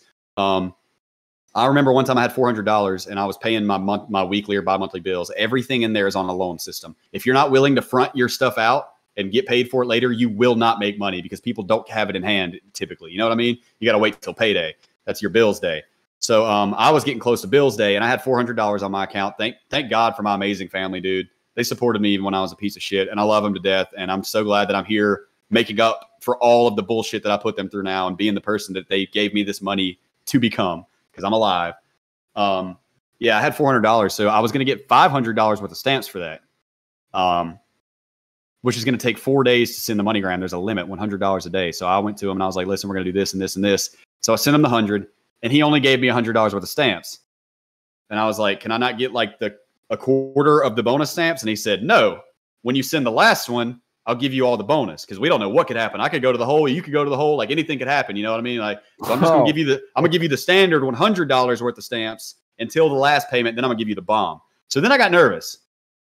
And in prison, if somebody's in a gang and they try to rip you off, you have to end up going to a group of people and trying to get them to talk to their gang leader, their shot caller, and it can get ugly. And I'm over here like, fuck's sake, I'm gonna have to go to the shot callers and shit. This dude's trying to rip me off. The fourth day that I sent the money, he gave me an extra fifty dollars. He gave me 150 extra dollars and said, "Keep your business with me. I got the stamps. Whenever you need them, spend that money with me." Because dudes, when when dudes see that you're about the business, they want to fuck with you. You know. So I will say that I'm proud to say that I did handle my business in there, and when I fucked up, I made up for it. Even if I had to be a piece of shit and beg my family and admit to all kinds of terrible things, they got me through it, man. You know. And I don't recommend doing drugs or gambling if you go to prison, guys. Don't don't fucking get involved in it. Now, um, you were talking about stitches, or sorry, snitches. Snitches get stitches. Same thing. Stitches. I was wondering, man, do you have any good snitch stories? Other than the fact that I got snitched on, not that I can think of off the top of my head. I missed a lot of stuff. A lot of times people be like, yo, they saw fucking Counselor Rob put stamps in, in uh, Handboy's locker. Everybody's got dumb nicknames in prison. they, they- they saw him put stamps in Handboy's locker, bro. He's a snitch. And then they just run over there and just kick the fuck out of him. You know, like four dudes just run down on him because there's no other reason. But um, I got snitched on. Um, and it actually is part of the reason that I got so much extra time, uh, probably. So there was, I was in county jail. I was 19, obviously. I had a public defender. I couldn't afford an attorney, man. I lived in abject poverty growing up. My mom's a nurse now, and everything's good. And I'm a Twitch streamer. Like we're all solid now, but it was hard times back then. I didn't have an attorney. Uh, but the public defenders are defending half the jail. They're the attorneys for everyone. Well, uh, one day my attorney sent me a motion to not be my lawyer anymore by conflict of interest, and I'm like, the fuck happened? It turns out that a pedophile, a pedophile in my county jail heard me rapping. I used to like rap. I listened to a lot of Eminem growing up, and I wrote a lot of really nasty, violent rap lyrics, and I loved it. And it was a really good outlet for me. And it was very Eminem style, old school, you know, violent, graphic. Not good to write these kind of things when you're awaiting charges on threats. So, anyways, he heard that I was writing down these raps in a notebook, and the and the, the guys in the jail thought it was cool that I rapped. They thought I was good at it, and they'd be like, "Hey, man, listen, I'm gonna give you a Snickers bar, and you hit that rap you wrote for my friend Mikey that just got here. He's got to hear this shit." So they give me a Snickers, you know, and I rap. This pedophile overhears it. Sees my notebook, Goes to his attorneys. I have information on Josh Pillault suggesting that he was truly going to carry out his threat because he saw me on the fucking news. They had to file a conflict of interest because they hired him because he had him first. Hired me a new attorney that sold me up the motherfucking river and gave a 50% time cut to a pedophile because they came in there and took away some notebooks where I drew doodles and, and raps and they put them all up on the screen, twisted them out of their original meaning, misquoted them with the wrong words, and used it as evidence of a maniac because it did look like a straight serial killer's maniac. I got copies around here somewhere, but I mean, I was sitting in a cell all day with nothing but a pad and a piece of, and- and a pen. You know, I filled up like three notebooks just drawing and writing songs and drawing guitar diagrams so I could start trying to learn music theory. I thought I knew it back then. I was so cute noob. Um, yeah, that that's the biggest snitch story that I've got. They had to move him. They moved him out of our pod first off because somebody found out that he was a mo, and so they immediately instead of smashing him, uh, I was in a pod with a lot of old guys at this point in time. it was like old angry white guys, mostly white collar crimes, and then like me, and then like a bunch of like 18, 19 year old black dudes that were in there for like selling weed. So you can see who I was hanging out with. I was hanging out with the black guys, and I was doing all this rap and stuff and showing them, you know. And uh, they ended up snitching, uh, like kicking the snitch out. Somebody said that dude's a chomo. I called my mom. She looked him up. He's a fucking chomo. They kicked him out of the pod. Two days later, I find out he snitched on me. Three days after that, I went to booking for some reason. I think I had to see the nurse. You know, they'll put you in the booking cell in the front of the jail instead of in like the actual population. And uh, I saw his ass come out, and I was like, "You big!" I'm not even gonna say what I said on YouTube, but I did see him, and I called him out in front of God and everybody, in front of about 30 inmates. I called him out, and you did, you man, you snitched on me. You got in the time cut, and he's like, "What? What are you talking about? I don't, I don't know what you're talking about, bro. What do you mean, bro?" And I was like, "Bro, I'm not your fucking bro, bro." I was an idiot when I was younger, man. I hate how egotistical I was, but this pissed me off though. This was for real though. This Yeah, that snitched was on me, man yeah. they ran in on my cell so hard. I ended up uh, the time that they ran in because of this guy's tip. I was in a solo cell, individual near booking. Right, uh, I can't remember why. Oh, I beat up this old guy, Ronnie Beard. That's a story for another day. Uh, I don't take pride in beating up old people. He asked for it. He called me the B word. Um, so I was in booking and I'm asleep. And this is how the cops work pretty much all the time. The CO popped my cell, which means open my cage remotely, you know, and he goes, Hey, Paul, you want to go to the library? I was like, nah, man, I'm good. I'm, I'm taking a nap. I'm good. And he said, come on, man, you need to go to the rec yard, get you some sunshine, go to the library, get you a book or something, man. You can't just lay in here all day. And I was like, I'm good, man. He said, come on, man, get up. You're going to the rec yard. So I was like, ah, fuck, man. All right. That's shit. I mean, I guess if it's forced, you know, there might be some legal thing I don't know about. I don't know. So I get up, I put my shoes on. And the second that I stepped out of that cell, two cops grabbed my shirt, puts me up against the wall, and three more of them ran into my cell and just started destroying everything, cutting my mattress open, fucking unbolting the toilet, ripping pa- pages out of books. Like, I mean, just like it didn't even look like they were looking for anything. It looked like they were just trying to sow discord. So they took away all my notebooks. I didn't know what they took. I, I, I was like, they can search my cell. They stick me in the library. I'm like, I don't give a fuck. That was so unnecessary. He could have just been like, come on, you got a shakedown. But no, they had to go all motherfucking. I feel like I'm important mode on me. So they put me in the uh, they put me in the library. And uh, when I come back down, I'm like, I didn't have nothing. Then I realized my notebooks were gone, and I was like, Oh fuck, that was stupid Ah, of me. shit. That was stupid. I was like, ah, I need to call my attorney. So they let me out for a lawyer call, and I'm like, I did something dumb. And he's like, What did you do? And I said, They just took away some notebooks, and I wrote some graphic things in them. Uh, obviously cartoonish, clearly not true. One of the lines involves making a corpse into a coffee table. So I mean, it's not like I'm being serious here. Um, but oh my god. no, dude, no, I, I went hard because I was very aggravated and I felt very, at this point in time, I felt like I did nothing wrong. This, the, the, the stage that I'm at now was not how I was then. You know what I mean? This was a gradual learning process for me. At that time, I'm over here like, yo, fuck this shit, fuck pigs. I didn't do nothing wrong. Free Josh. You know, I'm running around acting like an idiot. And so I was writing these raps. And in these raps, I was sarcastically making fun of the FBI calling me a school shooter. That was not a good idea. Lots of school shooter references in the in the in the songs because it was just my outlet for it, man. I was just making humor about it, and and it went badly. That's how I got my first mental evaluation. Oh they ended God. up filing a motion for a mental evaluation, which I had to do. And of course, he said he is not a danger to society. He's not a threat to himself or to other people. So I do not find him to be in the range. I did a dangerous assessment. The FBI didn't like that. So they immediately requested another one. They said, no, we want a bigger one.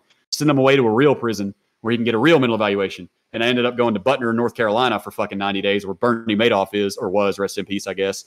And um, having a 90 day mental evaluation, full on grueling IQ test, puzzle test, reading and comprehension test, like competency, everything you can imagine. It was grueling. It was grueling, man. I mean, they like untangled my brain. You know what I mean?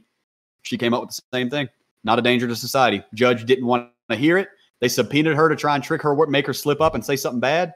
And she gave a beautiful testimony, man. And I really respect the doctor that uh, gave me my mental evaluation because everything she said about me was positive. She said he helped the other inmates on the floor. There, there is actually illiteracy in prison, guys. I didn't know that that still exists. There's legitimately people in there who cannot read, and they didn't have any money for the phone, but the email is five cents a minute. And I would sit down and I would type these emails for these guys. You know, they can't, they can't fucking read, but they want to talk to their family. So I helped them set up the email and all that stuff. And uh, she told about that on the stand. I didn't even know that she was observing me at that time. You know what I mean? I was just, I was on the block and I was just trying to help. And the judge didn't want to hear it, man. That judge hated my guts. He slammed the gavel so hard when he sentenced me that the probation officer came to my lawyer and said, I'm not even going to go talk to him right now. I've never seen him like this before. And I'll make sure the other charge gets dropped, but I'm not going to go talk to him right now. He's mad. Yo, dude, have you ever considered maybe he was the guy that you uh you spoke to in RuneScape? maybe, maybe he was the dude. No. Hey, people say that all the time. They're like, "You found him, bro. He won. That was him. That was the guy." Holy shit, you're busted. I do actually have the first and last name of the guy that reported me. Believe it or not. Oh, did I even mention that guy? Yeah, he reported you me, but he did. didn't just report me. He called the cops. Did I mention that? He uh, one of the lines no, that I you didn't said. say. One of the Oh, lines no, that I no. said. This this story is so big that it's really hard for me to like. I don't want anybody to think I'm intentionally trying to leave out dark parts or anything. But um, I did say look for the last name Pillault on the news, April twentieth, twenty thirteen. LOL. Right. So it transpires that this day was a Saturday. FBI didn't care. Uh, it didn't matter that my little brother went to the school. They didn't care. Uh, didn't matter that all the teachers that worked there wrote character reference letters for me. It didn't fucking matter. Anyways, he typed my last name in on Google. Every Pillault at that time lived in Oxford, Mississippi. He called the Oxford Police Department. They contacted the FBI. They got two calls almost at the same time, one from Jagex and one from him uh, regarding the threats, which hypothetically, if the day wasn't a Saturday, would have been six months away. But they still sent cops to the football game that night. And they tried to give me a two point increase because they sent cops to that football game. They tried to give me more time for that. Oh dude. man. Like they really wanted you. By the sound, like, it does sound like they wanted to make an example out of you. I Honestly, would- like I was the rune scapegoat. I mean- Yeah, damn, that's crazy. it, it's a very unique story because, like, I, aside from you, I've not heard of anybody. Like, i- unless it's some real shit, like there is actually some plotting behind it and like some Mhm. hard real life evidence. Like, I, I've never heard of this kind of stuff happening. Um, it's crazy. I, I think they probably did want to make you into uh, an example, maybe. That's what it was, man. And um, that, like the funny thing is though, it's like hearing this story. It's like as soon as I heard about it, I was like, man, like people need to be careful with what they say online and stuff like that. But There's it's like that's not the case. Like the nobody else getting in any fucking trouble. I know, right? The, the best part is that I've said way worse than that on RuneScape, man. I started playing in 2004. I've seen worse and I've said Dude. worse. I, I can tell you right now, guys. Can you imagine if this podcast was sponsored by a VPN? And we could be like, this is exactly why you need ExpressVPN.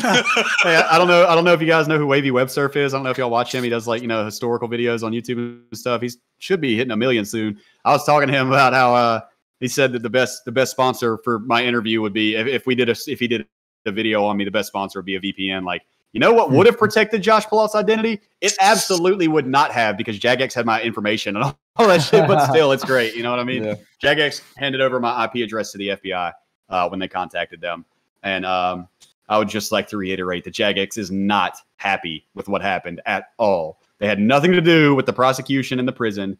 And I fully support and appreciate the fact that if a threat comes, I would rather serve six years in prison for my dumb ass than them not report a threat and somebody goes and does it. You get what I'm saying? I Yeah. tweeted that the other day. That's how I met Zezima because I think Zezima liked that tweet and followed me after that. And uh, it's the truth, man. At, at the end of the day, they have to report threats, man. If it seems credible, there's, it's just not worth the risk, especially in America. Oh yeah. yeah. Especially here in America. I do you know what I think um to to end this podcast on maybe we could go back to like your positive times in prison because uh to me it sounded like when you found Buddhism uh you were also high at the time um that was kind of like the moment where you reached enlightenment and you you kind of realized like hey I need to do something with my life a little differently here Mhm. um, so uh, you know, obviously you don't do drugs anymore. You've been off it for a good amount of time now. Over two um, years. Two years. That's really good. Um, d- would you say, like, here, here's an interesting question. Do you think that both of those things, the drugs you were on and also Buddhism together, is what made you kind of like realize your ways? Or do you think you would have got there with just one or the other either way? Interesting question. I, I respect that question right there. Um, to be perfectly honest, uh, I think that I would have magnetized to it anyways. It would be too long of a backstory for me to get into. But as a drug abuser, one time I hit ego death on acid.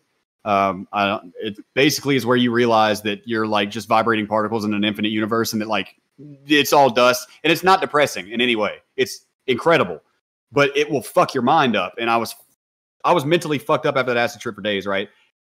I, I'm not going to go too much into it, but I had this epiphany about how one equals two, duality is singularity.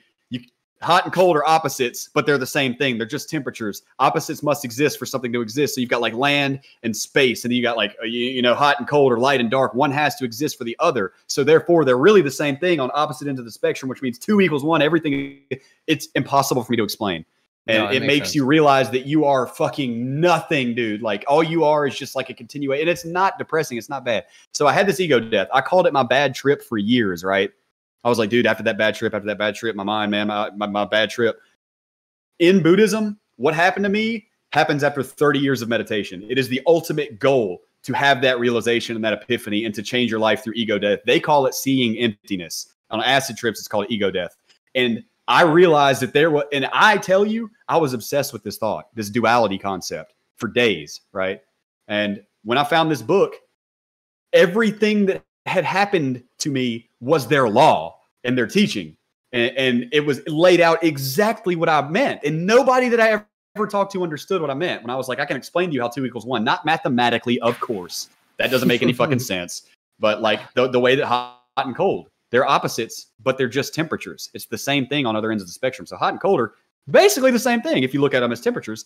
And so Buddhism is all about that. It's all about the yin yang, man. Balance. You know, you find balance, you take both sides. I'm all about that. That's why I said I don't PK, but give PKers updates and quit arguing, motherfuckers.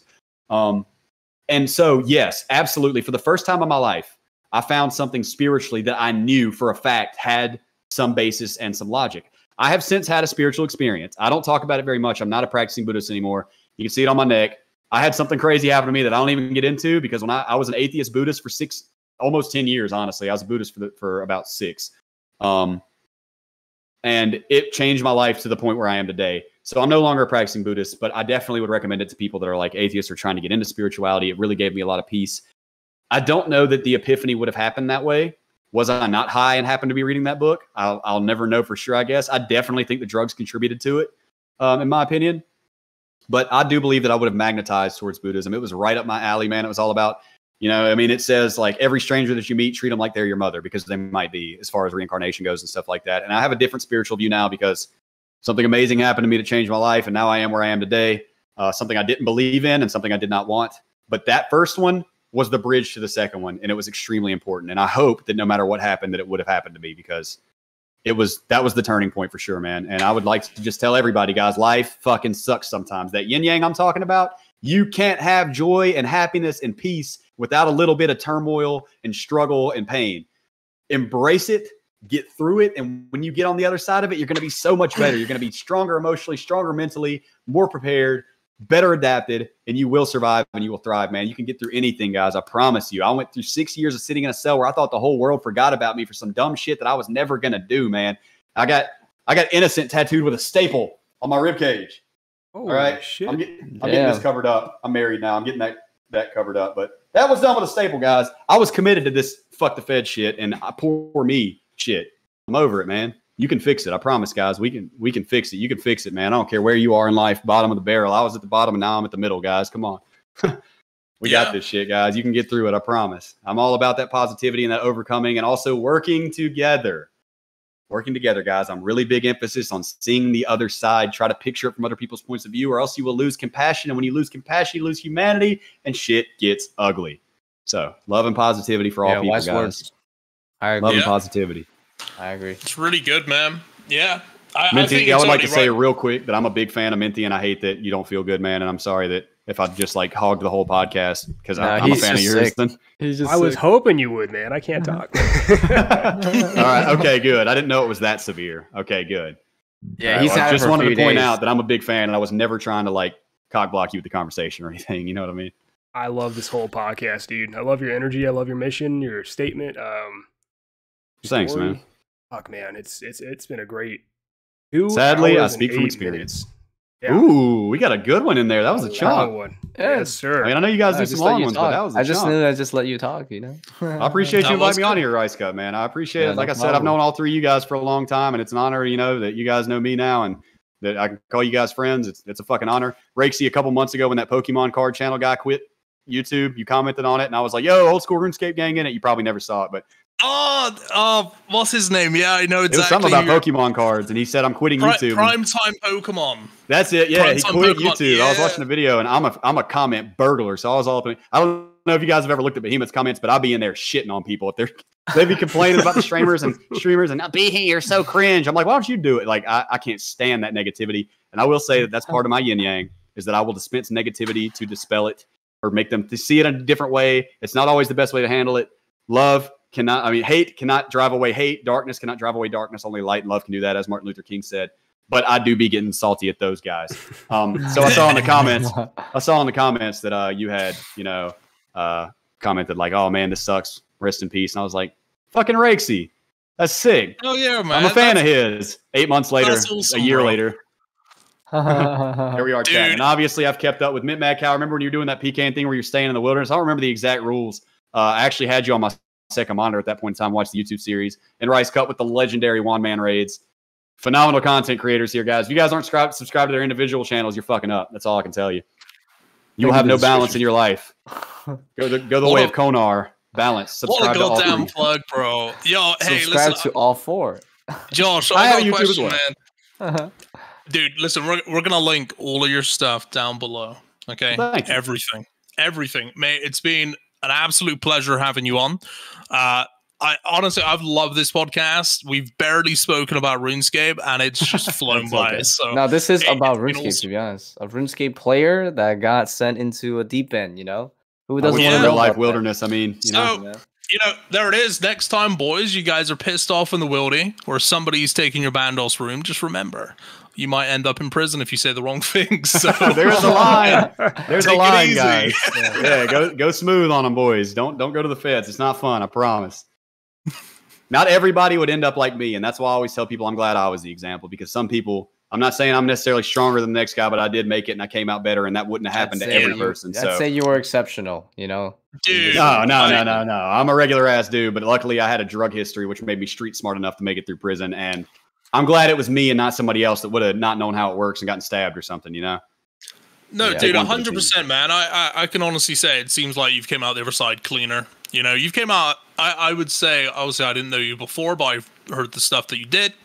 It, you seem like you've came out a better person, man, and I think that's great. I really do, and I think that's a real rare thing to happen nowadays. So, Sadly, and, it like, is. The, the other thing is, as we spoke about during the podcast, it's something which isn't handed to you in prison. It's something that you found yourself, and Gotta I, I think it. it should be given to you, though. You Mhm. know, but, but there yeah, should be I some mean, help, but there at the should end of the be day, some right help. now, there really isn't. And I promise you guys that self improvement is always possible. And that is a Buddhist concept that I still hold, even though I'm not a Buddhist, is that constant improvement. When you think you're perfect, you will cease to improve.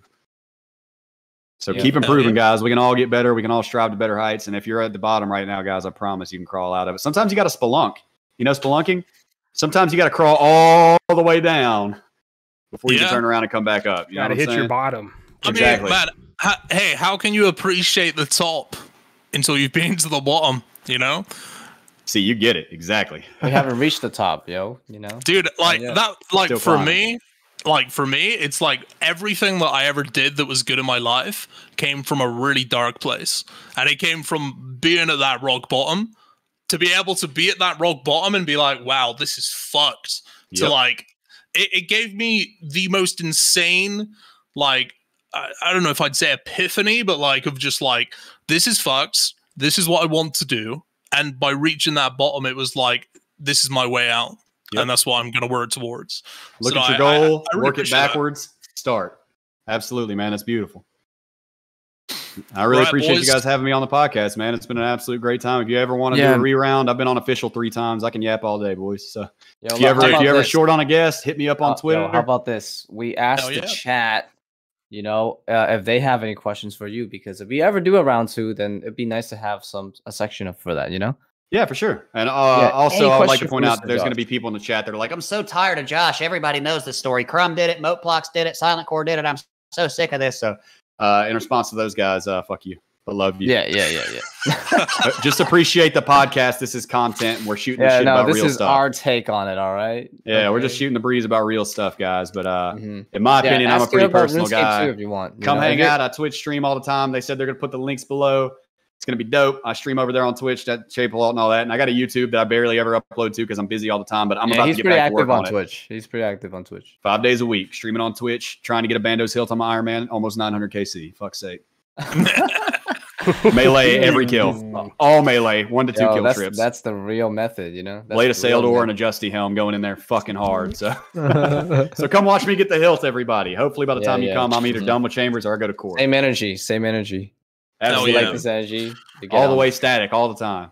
It's been a pleasure, guys, man. You guys are legendary and I really love your content and and man, like I said, uh, I hate that mo- the way the players like me are so aggressive towards you, but just keep killing them. Maybe they'll get over it. Fuck it. I'm not going to stop. Good man. Get out there and hunt because it's part of the game. And if you're having fun with it, then you deserve to play just as much as I do, man. It's our game, and I hope that everybody keeps playing, quits bitching. I'm glad we have this game. We don't have to play RS3. No offense, Rexy. We have it, so quit complaining, guys. I'm just glad that we have it. All We right, just that's pretty much all I got to say. Go easy on the mods, man. Their bosses are about are the ones that are stopping the duel arena and all that shit. Leave them alone, guys. Come on, All righty. Be right, positive. Time for I will cut it there.